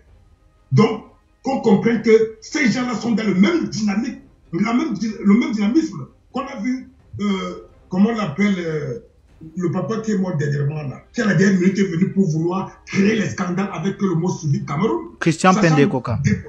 Il connaissait bien ce qui se passait. Hein? Que les Camerounais sachent que si les Ndo qui aujourd'hui sont tombés, c'est à cause de ces gens-là qu'ils ont manipulés en en faisant croire que eux étaient les patrons de la diaspora. Donc, que tous ces diasporas qu'on voyait, ce sont eux. Et qu'elle pouvait prendre sa voix, tous ces diasporas devaient être derrière elle. Elle aussi, elle paye aujourd'hui. Jamais a à cause de son côté égocentrique, parce que lui, il voyait que sa position. Bon, en tout cas, c'est ce qui nous a démontré. Donc, ils sont dans la même posture. Rappelons au passage, ce que tu dis est très très pertinent. Rappelons au passage que aucun d'entre eux n'a fait une sortie pour défendre le président dans l'affaire SCFC. D'ailleurs, la dame de Lyon a fait des sorties pour demander au président de faire un audit religieux sur cette affaire, comme demandé par le pasteur Bonimenteur. Elle a fait des lives pour dire au président élu qu'il verse les noms des 143 000 contributeurs dans SCSI comme ça, il sera départagé avec son frère. Et le reste n'a fait aucune sortie. Je dis bien aucune. Si un seul a fait une sortie pour défendre le président Kamto dans l'affaire SCSI, mettez ça ici. Mettez. Aucun. Contre le pasteur Bonimenteur, aucun d'entre eux n'a fait une sortie pour décrier les propos injurieux, péjoratifs, mensongers du pasteur Bonimenteur à l'envers du président Kamto. Aucun. Je dis bien aucun. S'il y a un seul parmi eux qui a fait une sortie contre le pasteur Bonimenteur, mettez ici. Aucun d'entre eux n'a fait une sortie contre Maître Ndoki quand elle a commencé à déraper. D'ailleurs, ils ont fait des posts pour la soutenir, des vidéos pour la soutenir. Alors que nous tous, nous savons, et d'ailleurs tout le peuple de la résistance, tout le monde sait, que même si le président lui dit officiellement, elle n'est pas partie du MRC parce que il, doit le dire, elle n'est pas partie du MRC officiellement. Tout le monde sait qu'elle était de ceux-là qui voulaient créer le MRC progressiste et tout le monde sait qu'elle n'est plus jamais retournée dans son unité de base depuis sa libération. Et tout le monde sait aussi qu'elle était parmi ceux qui avaient rencontré à Tangandji. Mais personne parmi eux ne... C'est pour compléter, pour mettre de l'eau à ton moulin, mon colonel pour dire que c'est la même mouvance. Voilà, donc pour, pour conclure, c'est pour faire comprendre au peuple que, voilà, que nous sommes tous les défenseurs d'une nation. Et que ceux qu'on vient instrumentaliser les faisant croire qu'ils n'ont pas le droit d'avoir un guide de pensée. Parce que le président élu, c'est même vu comme un guide de pensée. Donc celui qui va venir recanaliser hein, ses pensées tordu par le système. Donc vous avez le droit, comme on l'a fait avec les Gandhi, comme on l'a fait avec les Mandela, hein, d'avoir des icônes dans vos nations. Ceux qui vous envoient à détester cet homme, et ce sont les mêmes, ce sont, les, énergies des mêmes personnes qui ont fait en sorte que une branche du peuple camerounais a détesté les Oumyobé, les Moumiers qu'aujourd'hui on a été ressuscités pour les appeler les héros. Donc, euh, n'écoutez plus des, des affabulations. Hein sont conscients que c'est l'avenir de notre nation et une avenir qui doit restaurer les blessures du passé, hein, nous faire vivre consciemment et bien lorsqu'on aura une la victoire et on peut les générations futures. Merci, merci à vous. Merci, à toi, merci, merci, à toi, colonel So. Alors, euh, Sandy, je te remets le micro, je te remets la caméra, je te remets les clés du, studio. Merci déjà d'être, voilà, d'avoir eu cette patience là, surtout le temps de te, de te livrer à ce jeu de questions-réponses. Moi, euh, honnêtement, ça me plaît parce que c'est, il y a beaucoup de, personnes qui nous contactent pour essayer de demander pourquoi est-ce que Sandy fait ça, pourquoi tel autre fait ça. Donc, j'ai essayé de rendre plus haut les questions qui m'étaient pas venues euh, de mon côté et vraiment, j'estime que tu as répondu assez clairement à toutes ces questions. J'ai été, moi, en ce qui me concerne, satisfait de la réponse euh, à ces questions-là. Je salue aussi vraiment ta détermination dans, dans, dans cette démarche-là. Je te laisse donc les clés du paillasson. Tu, as tu peux conclure l'émission. Merci Stevie, merci à Kamala Panther qui a bien voulu nous donner un peu de son temps pour intervenir dans ce live. Merci au colonel So aussi euh, qui était euh, des nôtres et qui a vraiment donné des avis très poignants. Merci à tout le monde qui était derrière dans la régie, euh, Niat euh, Barano, ainsi que tous les autres combattants, Lucie Pauline, et tous les autres combattants qui étaient euh, derrière en back-office. Je vous invite à continuer avec le programme de United for Cameroun qui se poursuit avec Villageois du Quat et tout le panel pour la sensibilisation. Euh, certainement, le prof du Don Quata, Sana, est sur le plateau en ce moment. Euh, continuez de rester focus sur l'objectif des combattants.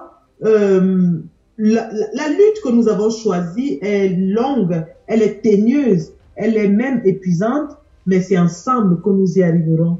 Mais faisons très attention parce que sur le chemin, il y aura beaucoup d'obstacles. Il y a beaucoup d'obstacles. Et ces obstacles viennent même parfois des, places et des personnes insoupçonnées. Euh, Aujourd'hui, nous voyons à, plein jour des gens qui scandaient le nom du président Kamto, qui euh, se mettent à devenir ses pourfendeurs, à distordre sa parole à, démobiliser autour de lui, à, saper le moral des troupes au 237. Donc, soyons vigilants, continuons le travail que nous faisons, c'est-à-dire un travail de sensibilisation, de mobilisation, d'éducation, d'éveil de, conscience et de, réveil citoyen du peuple camerounais. Créons la masse critique qu'il faut pour renverser la vapeur au 237, parce que comme le président l'a dit, c'est avec le peuple qu'il va euh, euh, mener son action, euh, son action politique, encourageant donc les combattants du 237 au lieu de les décourager en leur faisant croire que le, la manne tombera du ciel du côté de la diaspora. Non, il n'y a pas de formule magique. C'est le travail assidu qui paye et nous allons continuer de travailler assidûment pour atteindre la masse critique pour que le MRC et le président élu deviennent ce que Maître Amédée Dimitri Touko, dans un de ses articles, a appelé le too big, too large, too heavy to collapse. Trop grand pour que le MRC et le président élu deviennent trop grand, trop large et trop lourd pour être renversé. Et donc, la politique au Cameroun se fera avec le MRC et le président Kamto qui deviendront et qui sont déjà incontournables. Continuons de soutenir notre président, continuons de mener les actions sur le terrain, continuons ce travail de longue haleine que nous avons commencé, remobilisons les troupes en diaspora, regalvanisons les troupes au 237 et la victoire nous sera sûrement acquise au bout de l'effort. La patrie ou la mort? Nous vaincrons. La patrie ou la mort? Nous vaincrons. Nous vaincrons. Merci. Euh, allez. Merci. Je voudrais qu'on m'apporte l'exemple de ce propos-là tenu par le président Kamto. Compris Qu'on passe par le suffrage libre, transparent, équitable des Camerounais. Alors si vous, sur les réseaux sociaux, partout, toutes sortes de personnes qu'on nous présente chaque jour comme étant le prochain candidat, il n'y a aucun problème pourvu que chacun se soumette à l'ascension populaire. Vous avez compris Qu'on passe par le suffrage libre, transparent, équitable des Camerounais. Alors si vous, remporter la victoire sur le MRC, le candidat du MRC, je serai le premier à venir vous féliciter.